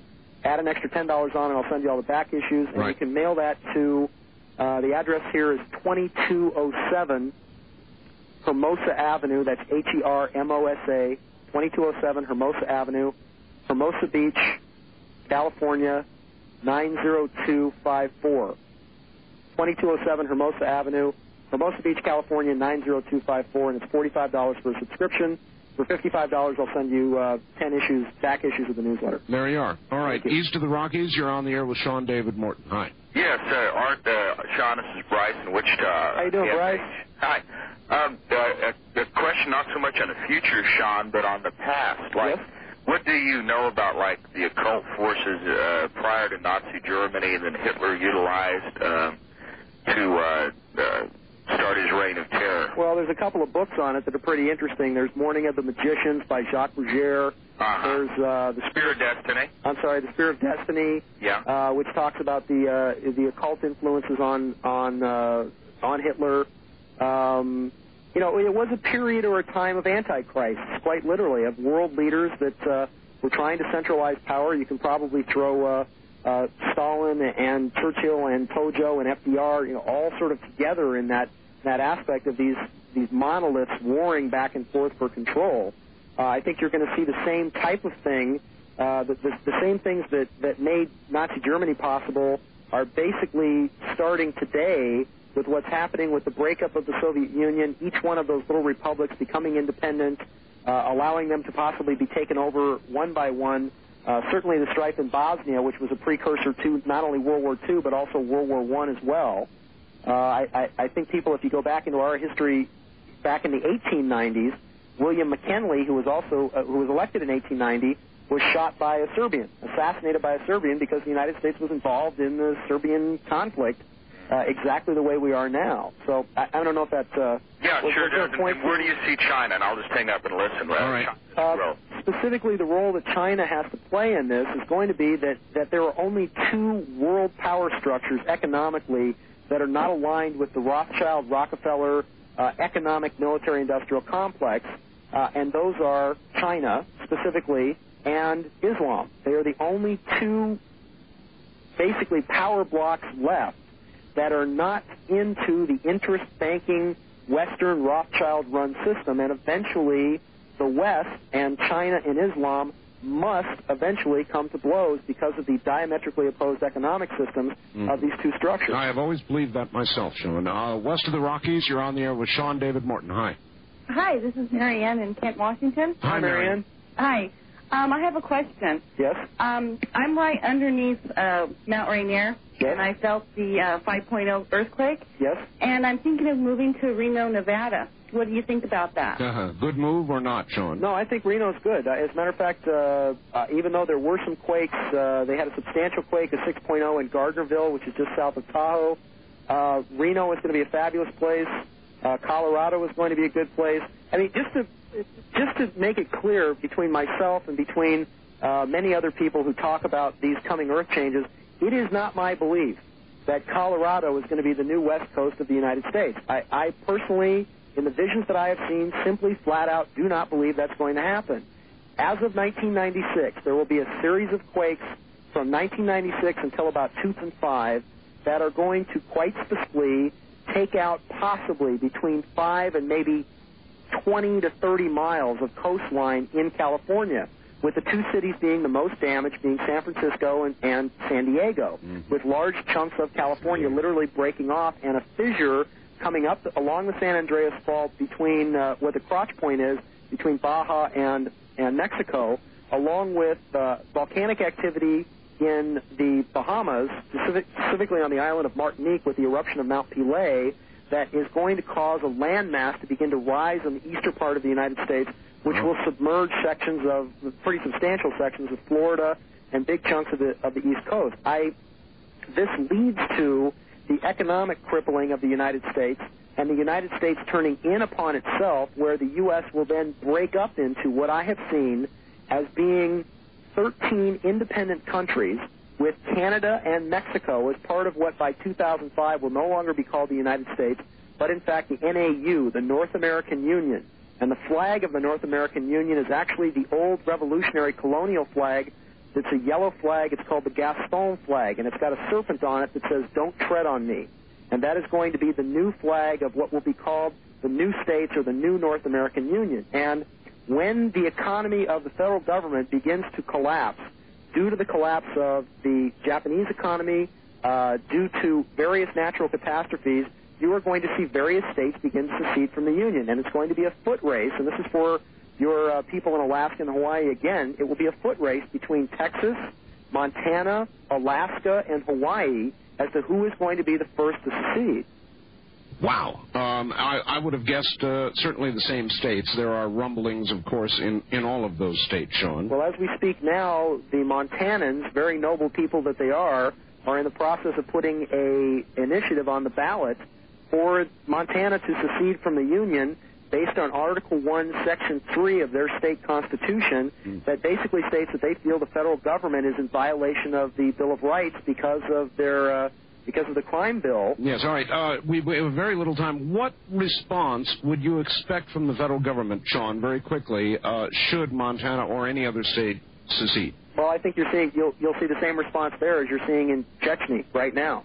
We've got uh, we have U.S. Special Forces troops in Chechnya acting as advisors to the Russians that are basically doing the urban warfare uh, with the Chechnya rebels. Those troops were trained here in the United States, outside of Tucson, Arizona, and in Texas, to do exactly what it is they're doing in Chechnya right now. All right, my friend, we are out of time. Sean, we will do this again. It has always, uh, as always, been a, a great pleasure having you on. It's always a wonderful experience, Art. Uh, you're doing God's work, and I really appreciate it, and your fans appreciate it. And I just hear nothing but great things about you from people who write me who just uh, who say they just wouldn't know what was going on if it wasn't for you. Thank you, my friend. And good night. Uh, Sean David Morton. And that, ladies and gentlemen, I'm sorry, is all the time we have. I want to remind everybody if you'd like to come to Hong Kong with us, that trip is just about booked. You must act now or it's going to be too late. Call 1 800 633 2732. That's the Hong Kong trip. Uh, May uh, May 13th at 1 800 633 2732. If you want a copy of this program, area code 503. Order a copy of this program. Call 1 800 917 4278. who helps with Dreamland, good night. This has been Dreamland, a program dedicated to an examination of areas in the human experience not easily nor neatly put in a box. Things seen at the edge of vision, awakening a part of the mind as yet not mapped. Yet things every bit as real as the air we breathe but don't see. Please join us again next week at this time for Dreamland.